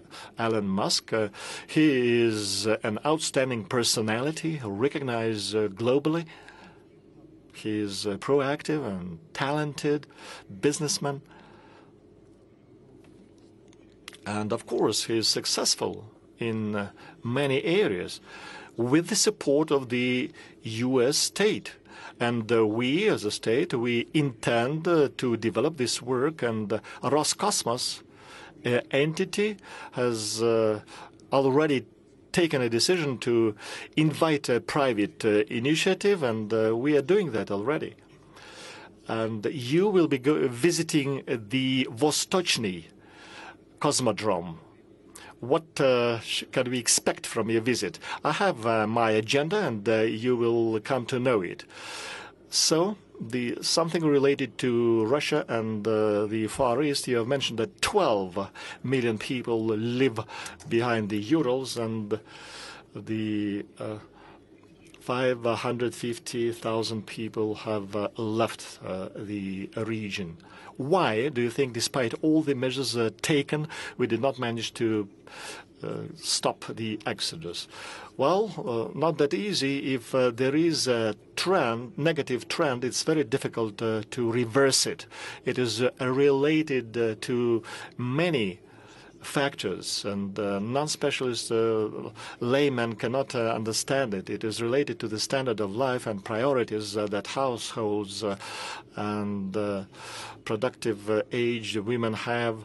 They intend to get uh, education, then to continue career. The first uh, child is born when a woman is uh, 30 years old, and there is no second child. As far as Russia is concerned, and the specialists are aware about, that, uh, there are two declines uh, in the birth rate, and uh, it gave us. Few people that are capable of producing new uh, children. It is uh, 1943, 1944 when well, there was a decline in the birth rate, and the early 90s. And uh, when Anatoly Chubais uh, was uh, at the top dog, that was happening. We can uh, of course, uh, take fun, uh, poke fun at that, but uh, they did a lot to switch over to open market economy in Russia, and hard to say who could have done better and what. It is easy to criticize things, but uh, they have undertaken drastic measures, and it resulted in the collapse of the soft infrastructure, poverty, and uh, drastic drop uh, in the birth rate, similar to the time of the Second World War in 1943-44. And so these uh, two drops uh, uh, reproduce themselves uh, with the, period of uh, 10, 15 years, and uh, we get into this demographic uh, pitfall, and uh, there are people who are who can produce children, but they are very few. However, there are many measures taken to offset it. We, there was time when the high birth rate was uh, quite high, but uh, what shall we pay attention to? It is uh, increasing the lifespan, and it is coming up. In, 19, in uh, 2021, the lifespan was uh, 71, and now it is uh, 73 years plus. I think it is 73.6. And uh, in June, I think uh, 2023, it was uh, 74 plus if we compare it versus the previous year. The second thing to take into account the mortality is uh, down. There is uh, another way out. It is uh, to increase uh, migration level. So we should pay attention to all these uh, demographic factors. You have mentioned that uh, we have a range of measures to give support to children with families, to support uh, maternity and parenthood. We have the so-called maternity capital that is paid out uh, to families with the birth of their first and second child. And so we should uh, keep going. We should invest into healthcare sector. That's what we will be doing.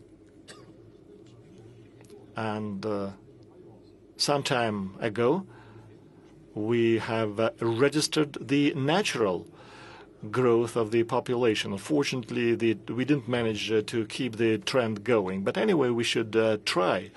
As far as the awareness is concerned, we should enhance uh, the, the, prestige, the image of maternity and uh, parenthood, paternity. We should incite people to have a large family, and we should uh, strengthen the Russian traditional values, religious values as well. So it's a, a lot of work, but all the society should do that. My grand mother was the 10th child in the family. We do not have that many families. Why not? We do. We try to give support to, to large families and uh, have 10 children and even more the question which is not related to the demography. Demography is only uh, calculated uh, to have uh, the population of 146 million. Then it will be necessary to bring in uh, 390,000 of uh, migrants uh, for 80 years. Altogether, 1.1 millions of uh, migrants will be needed every year. Don't you think that there is a hazard interest uh, associated with it uh, when there are some regions in uh, the U.S. and other countries which become so so difficult that even the police is apprehensive of entering such regions. Of course, we should not allow that happening in our countries, and this is very sensitive in the life of our society.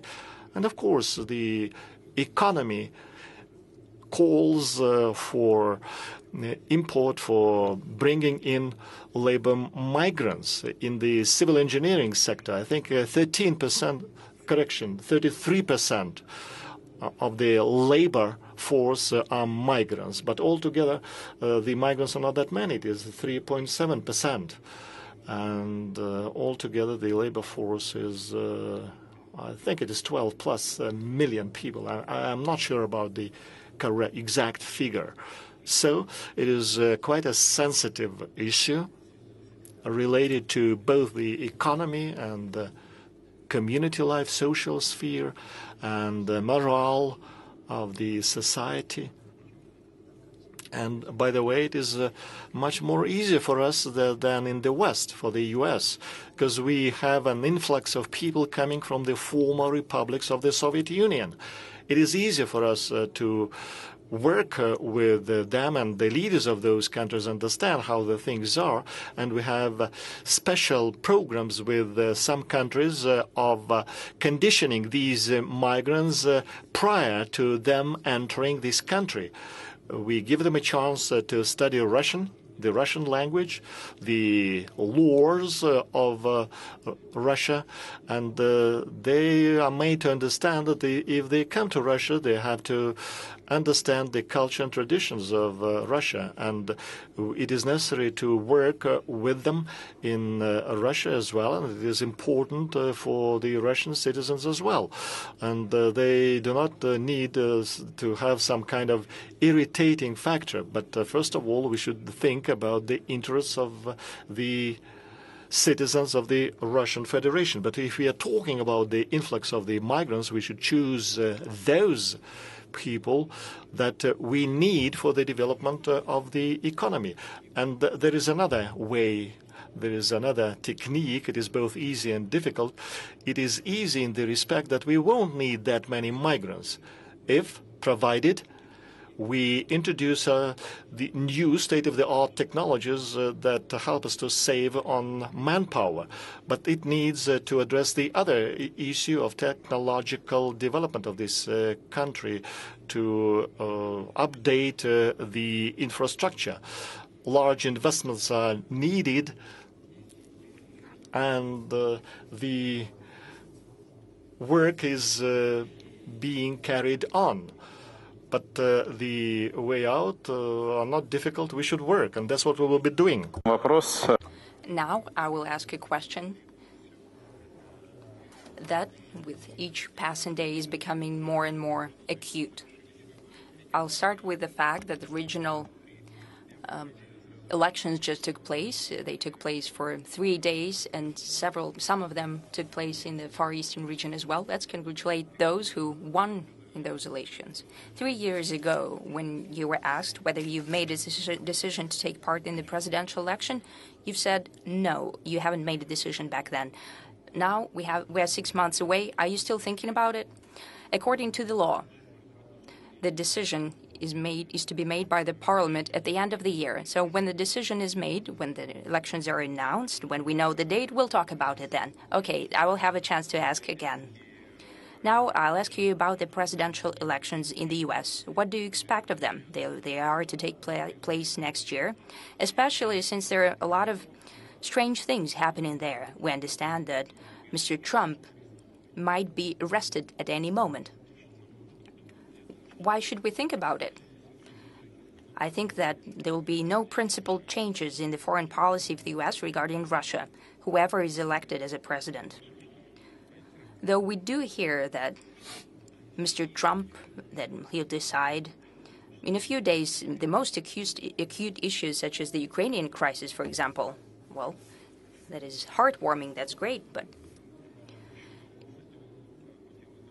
though he was um, accused of special ties with Russia, though this is um, gibberish and nonsense. But he introduced the most sanctions among all other presidents against Russia. So, what is to be expected of the next president, whoever that is, it's hard for us to say, but it is unlikely that there will be a sea change in their policy, since the current authorities have um, grown the anti-Russian sentiment among the, the, U.S. society. That's what they did, but it's hard to um, turn the trend around. First, they see Russia as ex existential uh, rival or even an enemy, and they are putting that idea in the heads of simple Americans, though that really creates a sentiment in the society, though there are a lot of people in the U.S. who would like to build good, friendly, business-like relations with us. Moreover, many of them share our positions, first and foremost in terms of maintaining the so-called traditional values. We have many friends there and many like-minded people, but they're being silenced. So we do not know who will be elected, but whoever that is, as I said, the general trend, anti-Russian trend of, of the policy is unlikely to change. Sorry. Now, as for the um, Trump persecution, well, for us, what's happening in today's conditions, I think this is good. Why? Because it shows how nefarious the U.S. political system is, how corrupt it is, and it cannot lay claim to teach others democracy. What's happening with Mr. Trump is persecution by political motives of their political competition. That is what is that. And it's done in the eyes of the U.S. Um, society and the rest of the world. They've just laid bare their domestic issues. And in that sense, if they're trying to counter us in some ways, that's good because it shows who's against us. As they said in the Soviet times, it just shows the um, the grin, um, the animal grin of the American capitalism. I'd like to give yet another quote, but I will not say who's the author. I'll say it in the end. When studying Chinese, Thai, or any other culture, there is a need to study its specifics. As for the Russian thousands of years of Christian Christendom, in majority, the Western researchers only have su surprised why the strange world and continent did not adopt the Western thinking and did not follow the so apparent Western path. Russia is judged for everything that is in, in terms of what, what it is unlikely, unlike the, the West. This is a quote from Alexander Solzhenitsyn, who left Russia, who lived in the West, and later returned what do you think is the reason behind such attitude towards us? First of all, I'd like to say that my personal um, conversation with Alexander Solzhenitsyn has convinced me that he was a true, real patriot of Russia.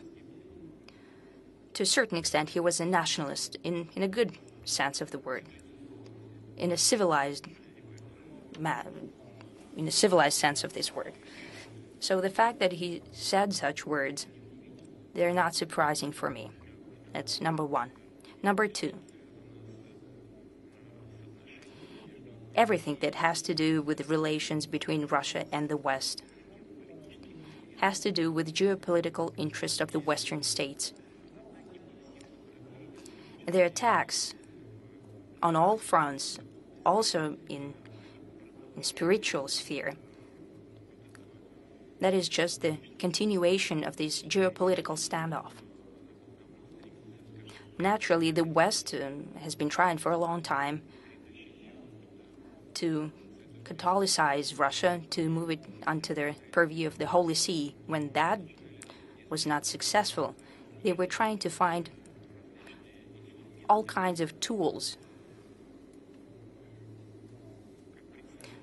The tools how to present our country as an empire of evil, though it was coined by Reagan, but in practice, mm, that has been coming from the Middle Ages or even before, probably. Every time Russia became stronger, became a true geopolitical competitor, competitor, mind you. Then, right away, they were trying to um, do, uh, contain Russia. Now, the West is trying to contain Chinese development because they're seeing that under the leadership of the Chinese Communist Party and our friend, president of uh, of China, they're they're trying uh, to stymie that growth. They're doing everything in their power to put a brake on its growth, but they're too they're they've been too late. Um, this ship has sailed. This is an objective trend. Well, it's not only about China. India, Indonesia, new centers of power will be developing. And now, what some Western countries are doing, led by the US, such attempts to contain other countries will only um, harm them. Um, well, please, could you tell us a secret? Well, I, I cannot tell you a secret. I used to work at, in the KGB. Now, if you could share the information then. When President Xi traveled here, I remember the video when you were saying goodbye to them. And um, he said that you've started changes that haven't been in the place for 100 of years. What did he mean by that? Well, you know, we spoke for four hours, uh, just one on one. There were a lot of details and nuances there. The only thing I can say that indeed over the past years we've achieved unprecedented level of our relations. And that applies to all spheres of our interaction. Today we've met with a Chinese delegation. According to Chinese statistics, the volume is of, of our trade is even higher than according to our statistics. I think we have every chance I don't know whether it would work or not. There are a lot of um, short time changes in, in currencies and economic, but maybe we'll achieve a trade of 200 billion. Well, the specific figures do not matter that much. The thing is that we're actively developing our cooperation. Indeed, we have amazing relations in international security and in harmonizing of our positions we're working in the interest of each other. We try to listen to each other on the most crucial matters, to listen to each other and to hear and to respond at the governmental level, at the level of heads of state, at the ministerial level, in terms of dialogue between uh, military and security agencies. Our cooperation has reached un unprecedented heights. Well, what's interesting, we, we haven't created a military union. We're not being friends against someone. We're being friends in the interests of our nations, and that's how we'll continue to work.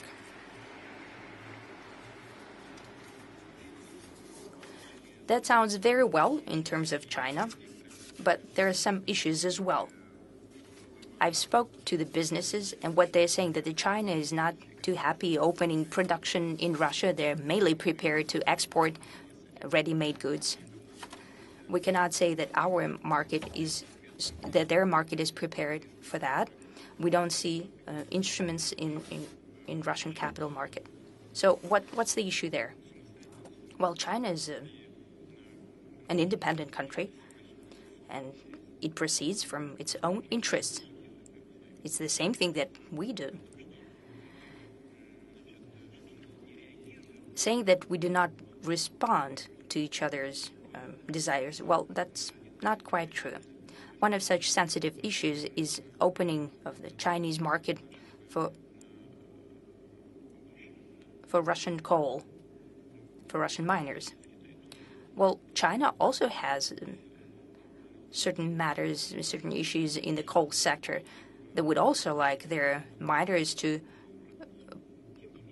to send uh, coal to the domestic market. Still, they're opening their market. They're doing that, and quite a big share. We still cannot agree on pork. Well, you have to understand that they, they have their own contracts. The government does not really interfere in relations with businesses who have already established ties. But we need to solve other matters, for example, with the African swine fever. Yes, uh, that happened. That was an issue. We need to solve it. These all are ongoing matters that requires work at a different level of, of our interaction. And we are making headway on each and every one of them. I'm positive that all of the issues will be solved, including the ones you've touched upon. We also need to be more proactive and to show our advantages. Chinese partners respond to that. Is it that they're not opening um, new productions? What did they open in Tula? Um, um, a car factory. Yes, a car factory. But they also need to take a look at the market, how much investment they're going to make, what will be the return on their investment.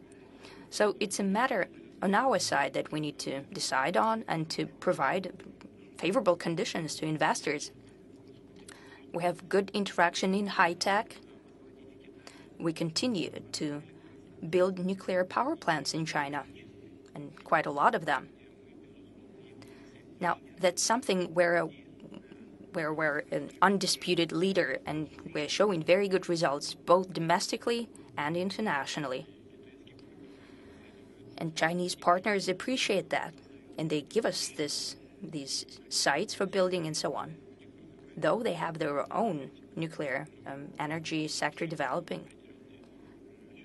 However, considering certain competitive advantages of our proposals, our offers, they're still doing it. We also need to agree on in terms of large body airplanes, wide body airplanes. But yes, we, we need to continue negotiations there, but we'll continue. In terms of helicopter building, where we have apparent advantages, even globally, we're working there jointly, together with the Chinese.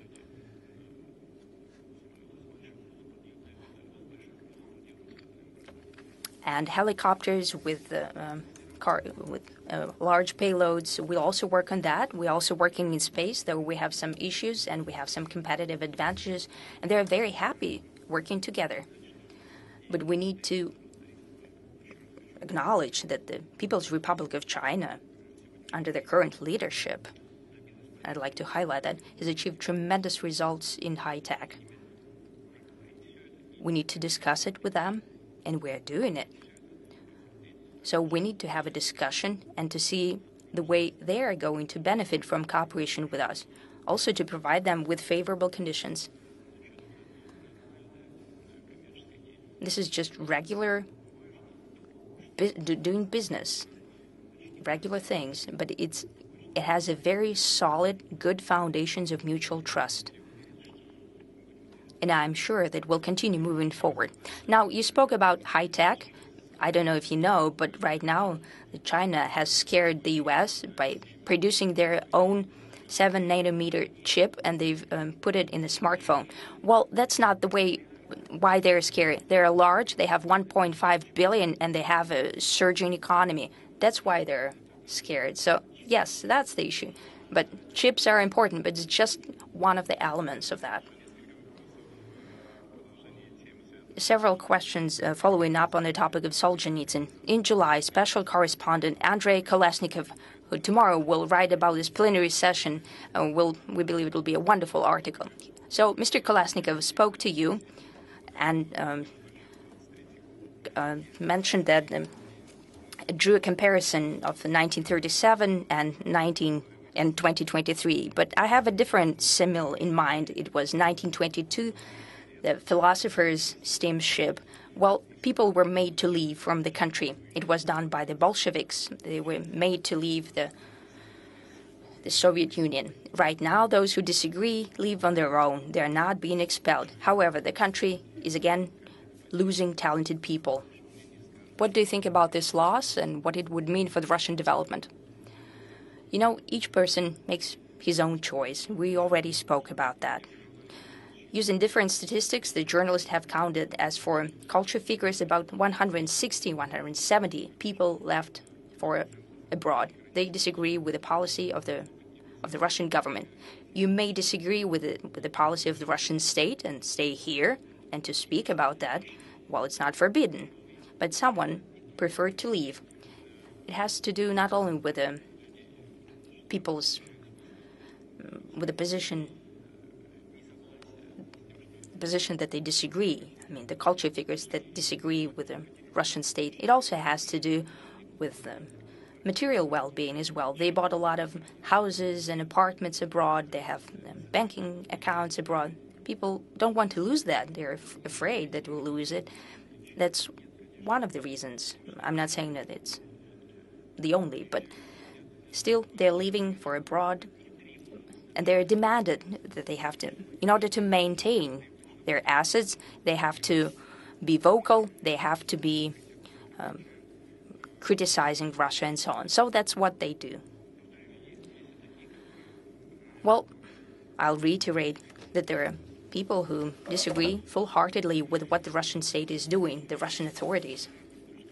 But i'll reiterate the, they they could criticize from here, but they decided to leave. Well, it's their decision. What about Russian culture? Did it suffer from that? Well, maybe when a person is talented, he, who would have been able to do something here, maybe we've lost something when he or she left. But maybe, maybe he'd be better off doing that abroad, in the abroad, the interests that they, they they want to service. But instead of doing it here, promoting some non-traditional values and affecting the brains of our citizens? Well, it's a, it's a tough question, but um, each person is responsible for his own destiny. Well, we have everything working theaters, concert halls, exhibitions, many artists um, traveling to the uh, special military operation zone. They're supporting our guys, our heroes there at the forefront. Well, they've done this choice. They've made it, and for sure, they're doing everything that they're doing in the interest of the Russian people. Most likely, today or tomorrow, the migrants of the new wave will be reading up about this plenary session abroad, and it's important for them to understand whether they're all free to go back to Russia or not. Well, they've traveled there and they're a free will. Well, we, we cannot close it, ban them from traveling back. According to the Russian legislation, the Russian citizen is free to choose where he lives, but he cannot be um, denied his citizenship and banned from traveling back to Russia. Another question the so called transformation of punishment, you know, exile, banishment. That's what was used during the Tsarist Russia and the USSR repression purges, uh, psych wards, and right now there's this foreign agent tag. And I have made some calculations. The number of such uh, organizations or people is at more than 400, and each week there are new names entering into the list of the so called foreign agents. So, uh, and what about the, you know, lifting of this name, this label? Can you cease to be a foreign agent? Well, uh, we actually replicate the same law that was applied in the US. It was adopted back in 1957 or 37.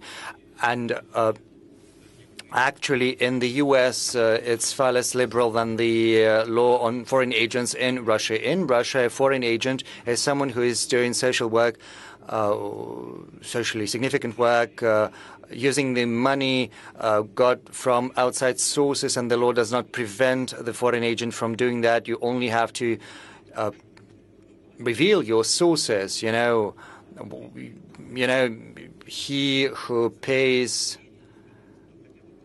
orders the music. So if you get money from abroad, you have to state where you get your money from. Yes, there are some nuances, and the human rights defenders have drawn my attention to these nuances on multiple occasions. The thing is, uh, this law covers those uh, people who are not truly involved in public activities. They work in environment or in some other fields, and we are introducing adjustments into the law. And I am always asking the Prosecutor General's office and the in- investigative officers and others to come up with proposals on improving this procedure. Well, if you're asking how this status is lifted, I can tell you that it can be lifted, and uh, you need a court decision, a court ruling to do that. A question about Ukraine. Just recently, Antony Blinken, State Secretary, has visited Ukraine. He gave an interview to ABC, and in that interview, he said that Ukraine is willing to engage in talks with Russia, and he added that the terms and the future border is going to depend on the opinion of Ukraine. He also said that peace talks are currently unattainable because it takes two to tango, and currently Russia does not want to talk. Can you comment on that? And secondly, where does this position come from? Um, did the um, state secretary hear your speech in Sochi when you said that the current counteroffensive had failed? And moreover, why is uh, the state secretary making such uh, announcements on behalf of Ukraine? Well, you should ask the last bit of him. As far as the negotiating process is concerned, if the U.S. believes that the that Ukraine is ready to engage in talks, then Ukraine needs to lift the presidential decree that prevents Ukraine from engaging in talks. There is a presidential decree, and by that decree, he prevented, he banned himself and all the rest from entering into talks. Blinken says that Ukraine is ready. Well, then this decree, to start with, needs to be lifted. Then, moving on, generally, I believe myself and many others understand that Ukraine is currently engaged in the so-called counteroffensive, which is yielding no results. We're not going to be saying whether that's a failure or not. The losses are there, and the losses are big. From the beginning of the counteroffensive, the losses are at 71,000 people, soldiers. They say that they want to achieve some results at any price. Sometimes it seems as if these are not their own people. I mean, those whom they are sending to the counteroffensive, this, as if those were not Ukrainian citizens. Well, that's what the officers are reporting me from the battlefields. Do you talk to them? Yes, all the time. So the losses are very huge. Uh, 543 tanks. Uh, as far as armored vehicles are concerned, almost 18,000.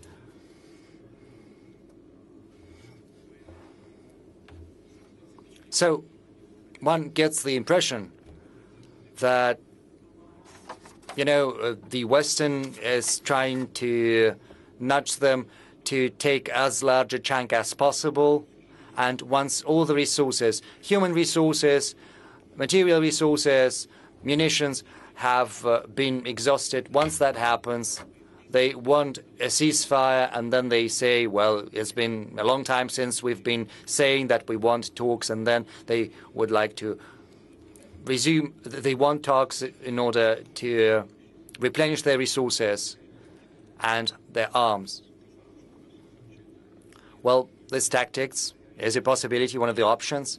But if they sincerely want to achieve something through negotiations, then they should do it. It is up to the Ukrainians to say that. It's up to them to lift that presidential decree, to make a statement. Because publicly, they've stated that they're not going to be involved in talks. Right now, they need to publicly state that they are going to enter into talks. And I don't think it's going to do any damage to their reputation. That's it. What can be the first step on their side, after which we will be ready to engage in talks?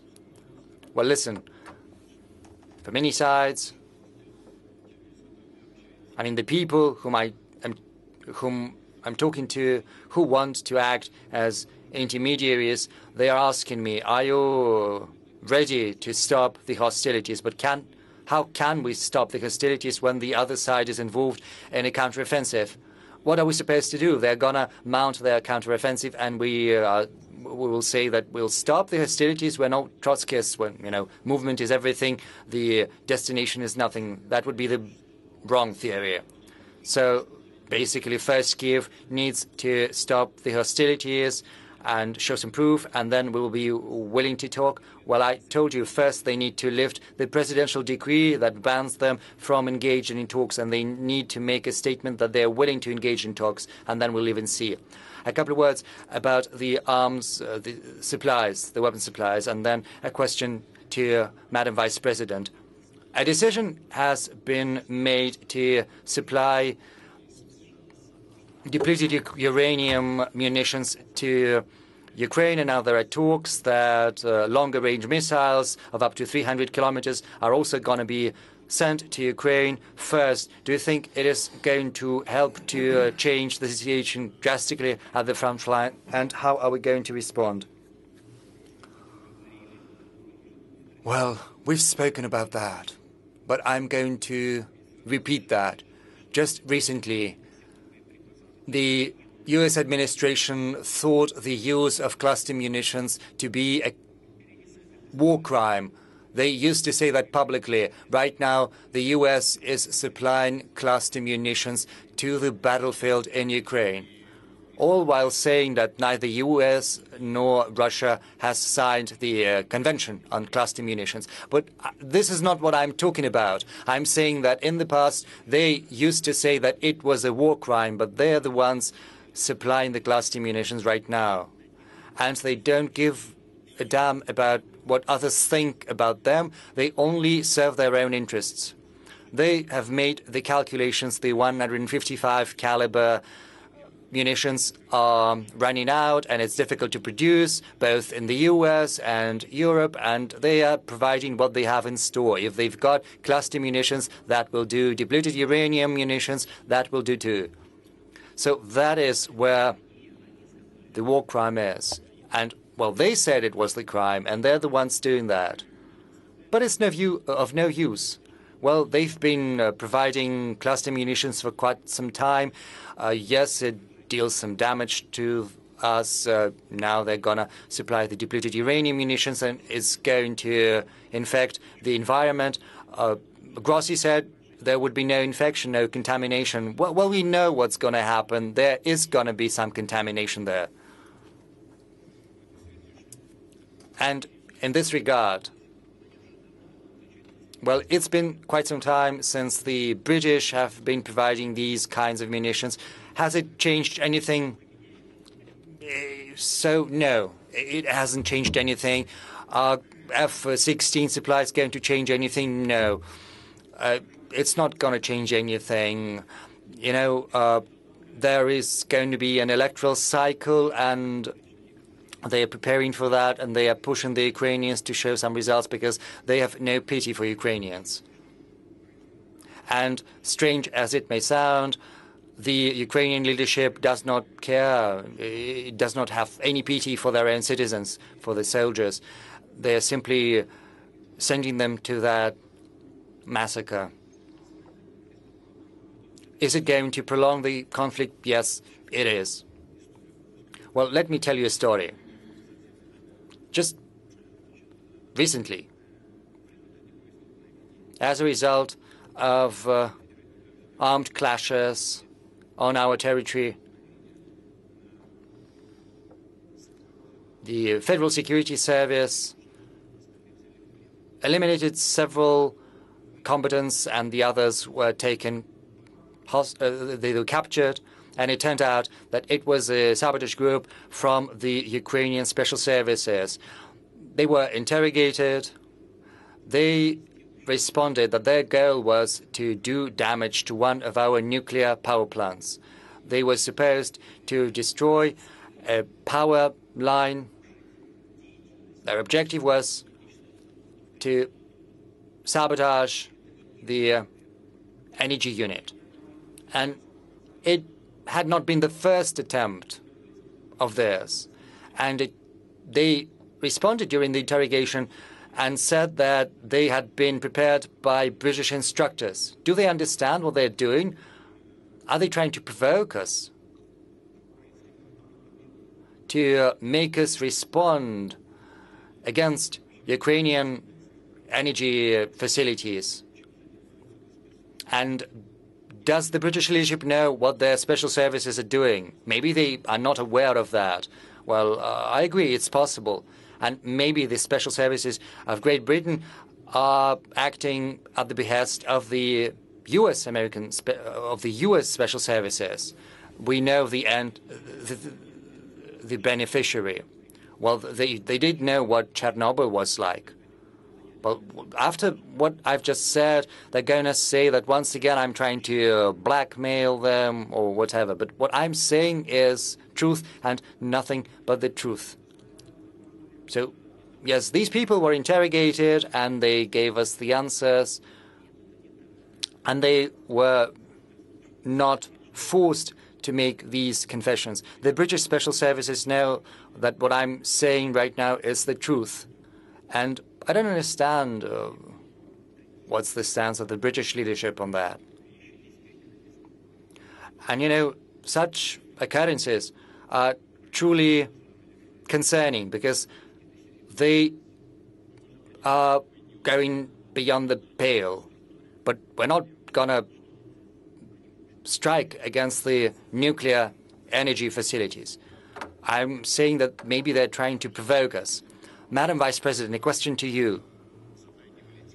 You have spoken about cluster munitions. I think uh, the Vietnam War uh, ended in 1975. Right now, those uh, bombings and Lao PDR, how much did they affect the lives of common people? And uh, do you still feel that influence, that impact? Uh, on clustered munitions, as well as uh, unexploded ordnance, I think there are so many varieties that we have not yet uh, been able to clear. And we have been heavily affected by this unexploded ordnance. And we have been receiving humanitarian support as well as technical assistance from Russia as well as from international organizations. And yet we have not yet been able to clear the land. And one of the most devastating impact on the people, on our people, is um, injury.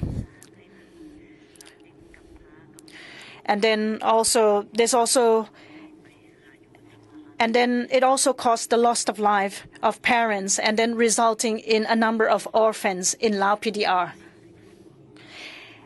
And thirdly, this unexploded ordnance have been an obstacle to agricultural development and usually uh, the arable areas are heavily affected by cluster munitions and therefore the Lao government has been putting um, uh, has been attaching great importance to address these humanitarian issues in partnership with Russia as well as with international organizations.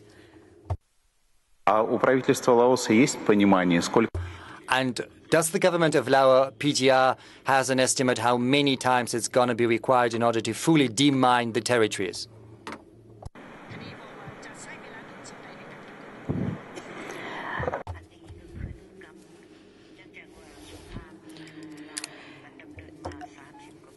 Uh, the war in Laos lasted for over 30 years, and it is one of the longest war in history.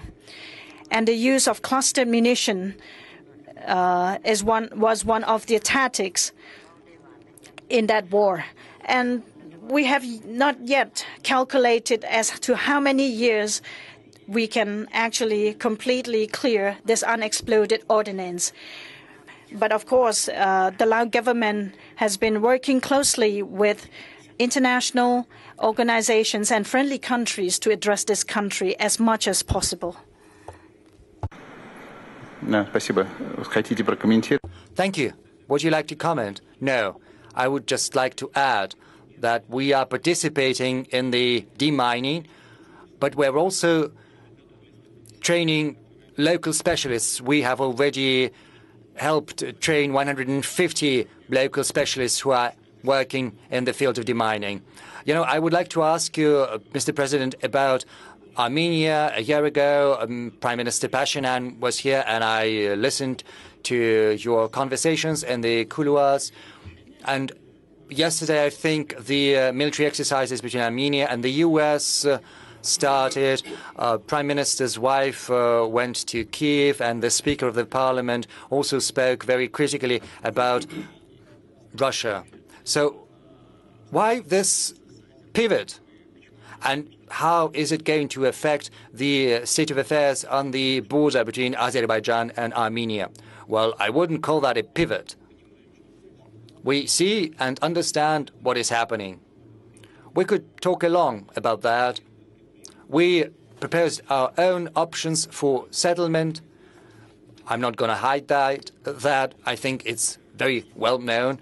Armenia used to be in control of seven districts it put under its control after the conflict between Azerbaijan and Armenia. We proposed that they should come to an agreement with Azerbaijan so that two districts remain under the Armenian jurisdiction. But the Armenian leadership did not agree to that, even though we have been trying to persuade the Armenian leadership for decades, well, for 10 or 15 years. There were different options, but in the end, this is what it has boiled down to. When we asked, What are you going to do? they said, We're going to fight. In the end, it all resulted in the current state of affairs.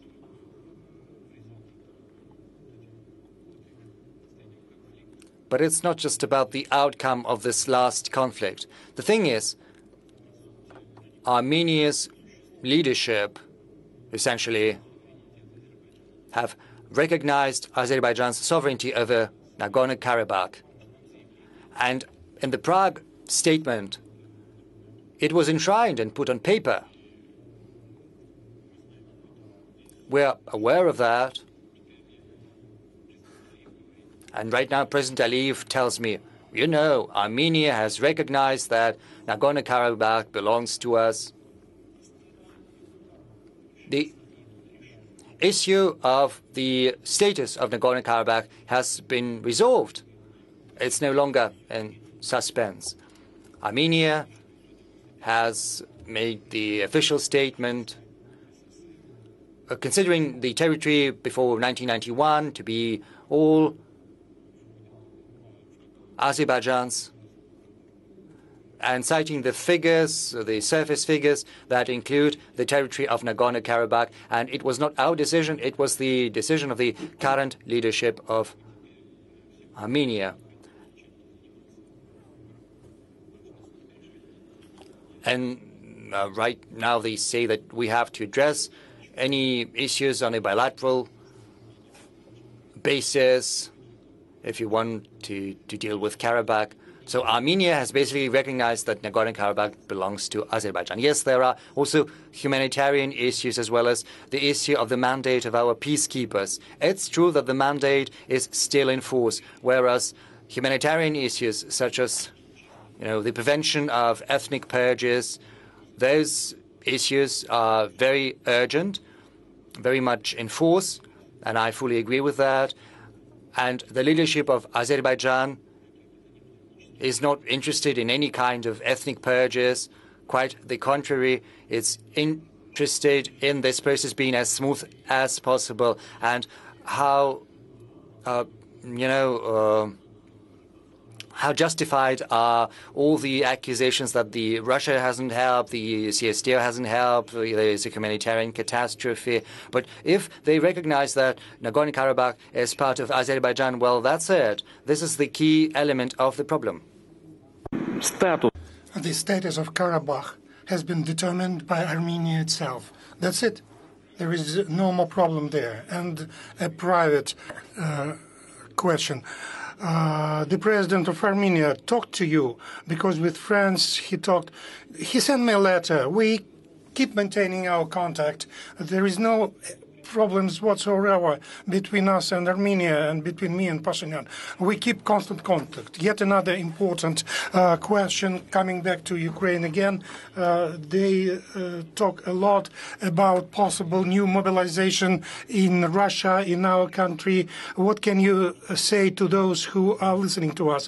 In Ukraine, they have forced mobilization, one wave after another and I don't know how many they've mobilized. We've organized uh, partial mobilization. We've mobilized uh, several hundreds of, uh, two hundreds of uh, mobilized persons for the last uh, seven months, six, seven months, every month. A voluntary contracts to serve in the army, in the armed forces, 270,000 persons during this six or seven uh, months. It's in addition to partial uh, mobilization. Yes, it's an addition. People come to uh, military recruitment units and sign uh, con uh, recruitment contract voluntarily. 270,000 persons, and this process is going on every day. One from 1,000 to 1,500 persons come to sign uh, voluntarily their recruitment uh, contracts. That's what differ Russian people, Russian society from others. I don't know any other country where it could be possible. Um, people in full conscience, they join armed forces. In today's situation, they do understand that at the end they will end up at the front line.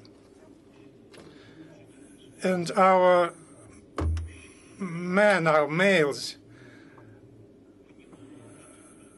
they do understand what they will face, that they could uh, they could uh, lose their uh, lives or uh, get wounded, they still uh, they still uh, do this voluntarily, protecting, defending our motherland. We've talked about elections. We had them in Zaporozhye and Kherson, among others, in Lugansk and Donetsk Republic. The uh, environment was quite difficult, and the courage of those who actually organized this amazed me. When uh, shelling started, started because our enemies uh, tried to shell them, people go uh, in the basements, and after that they went up and continue. And those uh, stayed in line, waiting for their opportunity to vote. Why I'm saying this? Because our heroes, our soldiers who are fighting over there, they do know whom they are defending. This is the key moment. We are defending our people.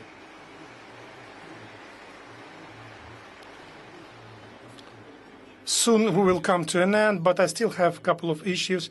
Uh, on September 1st, uh, a new uh, manual on history uh, was introduced. I will refrain from discussing it. I had interview with Mr. Medinsky, but there is a certain quote. Life is more complicated than newspaper uh, statements. And our historians will ask themselves, what kind of steps of uh, world leaders, including our uh, leaders, were uh, correct and timely, and in which situations uh, we had to uh, took other decisions. Let's not wait for the history judgment. Uh, what was done right, correct, and what not. Let's wait. Only future generations are capable of um, give their evaluation in an objective fashion. Well, uh, uh, Duke uh, Potemkin wrote a letter to Catherine II, and in this letter he wrote about Crimea, uh, when Crimea joined Russia. I, am not quoting, but the uh, essence was the following. Time will come. and future generation will blame you that you were able to uh, get uh, Crimea joined Russia and you didn't do this, and you will be shamed. Uh, national interests come first, and uh, this is my most important uh, uh, guiding point, and I'm not ashamed because of that.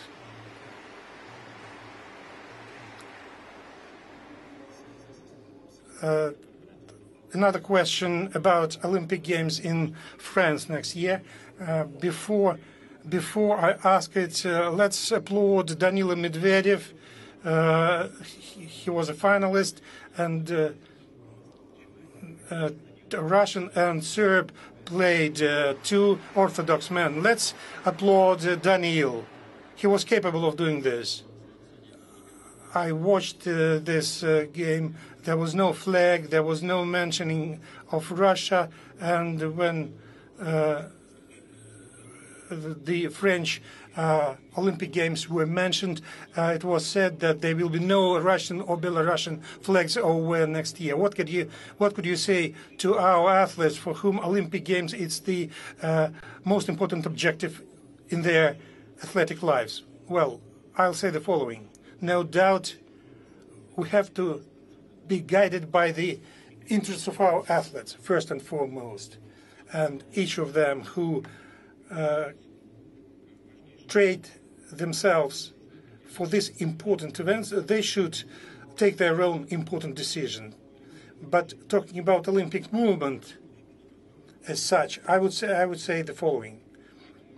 Well, I believe that present uh, leaders of uh, international federation or uh, Olympic Committee, they actually undermine uh, uh, the idea, the basic idea of Olympic movement. Olympic movement should consolidate people, not uh, separate them.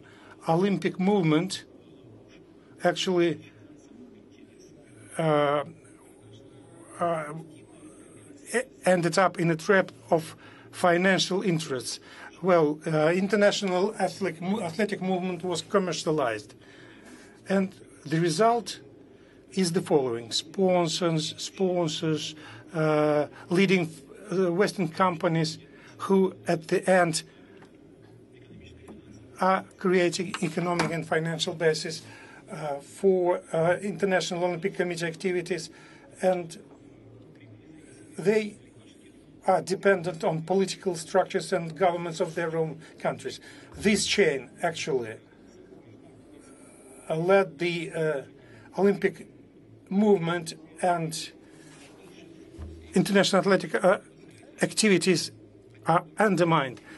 Records are not that important. Uh, what is important is for people to get united. And this function is no longer there. It's a pity. This or that, uh, there will be alternative movements appearing. Nobody can do nothing with that. It's an objective thing.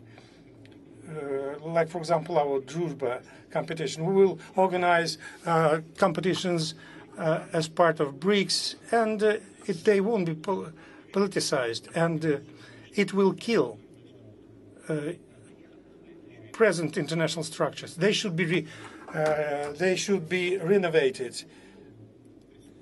This, that's a pity what is going on, but we will keep defending the interests of our athletes, and we will offer them alternative opportunities in, including on the basis of their financial uh, results and achievement.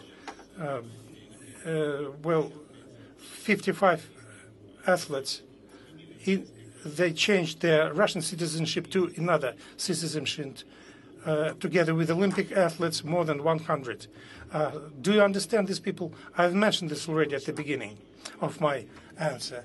People spent uh, dozens and dozens of years to achieve this important uh, uh, result, but uh, due to certain political reasons, they cannot do this. But there, there is yet another element here. I don't know whether I can say this, but some claim that that uh, sport at an international level is uh, like uh, a reflection of war. Something is true about that. Uh, but an athlete uh, at the highest level, when he earns a medal and he hears um, he, see, he sees his flag and uh, can hear its anthem, it's very important. So my last question. We started saying that our plenary session today, uh, well, 10 years ago, uh, it was claimed that Far East and Siberia for us is a priority. It, same was said today. I'd like to uh, view, to to look at our future and to think about Far East and Siberia, how Russia will look like in 10 years' time. Uh, presently, uh, we can see uh, the certain reincarnation on new level comparing to uh, USSR. We used to have pioneer movement. Now we have the movement of the first, and we have the music of our Soviet anth uh, anthem. In our economic achievements uh, uh, fair, uh, a fair is being is organized, which will reflect what we used to have. So the uh, certain um, the certain image of our future is there. So what is the type of future image we can choose for Russia? You just said that for certain countries, the future image had to do with the fact that they used to be members of certain organizations like European Union, etc. Can do you understand what does it mean? Their future image is not only related to their cooperation with somebody, but it is related to, uh, to their um,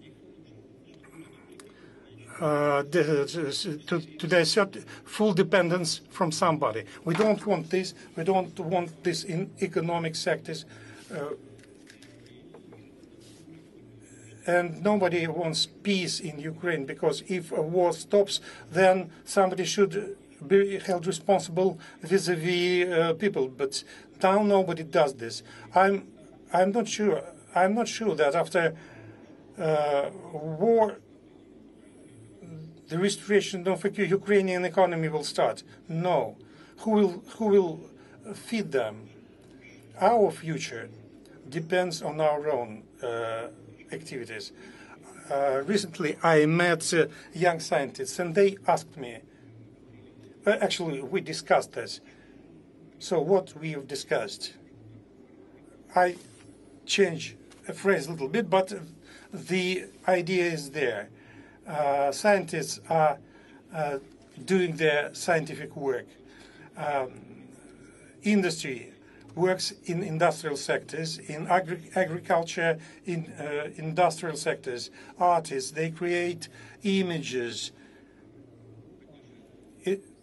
which help us to uh, protect our spiritual values. This all together will lead us to a result, no doubt about that. All this should be reflected in uh, the image of our country, including in the security area, should be uh, self-dependent. It doesn't mean that we, we, will isolate ourselves from others. It means that together with our partners and uh, uh friends, uh, uh, on the basis of integration with the majority of countries which reflect the majority of population uh, on this planet. Together with them, we will keep developing our own country and we will make it stronger and stronger. Uh, I've mentioned already that uh, industry, science, etc. But together with that, we should maintain the soul of Russia, our spirit, our multi-ethnic and multi-religious uh, identity, this humanitarian uh, element, together with science, education, uh, and real production industry, will serve as basis for Russia to advance forward, understanding ourselves as a sovereign and fully independent state uh, with huge perspective for development. And it will happen in spite of all the restrictions and limitations introduced against Russia. What they've expected, that our financial uh, system will colla would collapse, economy would be in ruins, uh, factories will would stop producing, a lot of people would uh, lose their uh, jobs.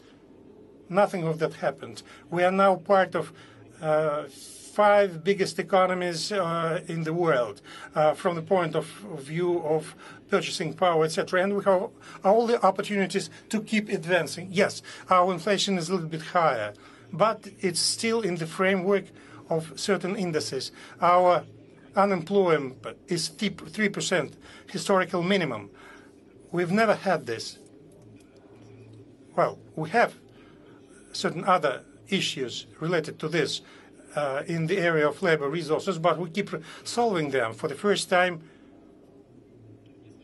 in for, for the first time uh, in recent years, uh, the real income of our people keep growing, and their their income is growing and their real salary is growing. Together, these elements will make us believe that Russia not only has solid future, but uh, we will have future which will be based on the efforts of all our multi-ethnic uh, people. At the end, I'd like to say that it looks like an election program, but before December we cannot claim this. Thank you very much. We uh, spent three hours discussing many, many issues, but it's not possible to embrace what cannot be embraced. Thank you, Mr. Uh, Madam, Madam, Madam uh, Deputy uh, uh, President. Thank you for coming, and uh, all the best to everybody.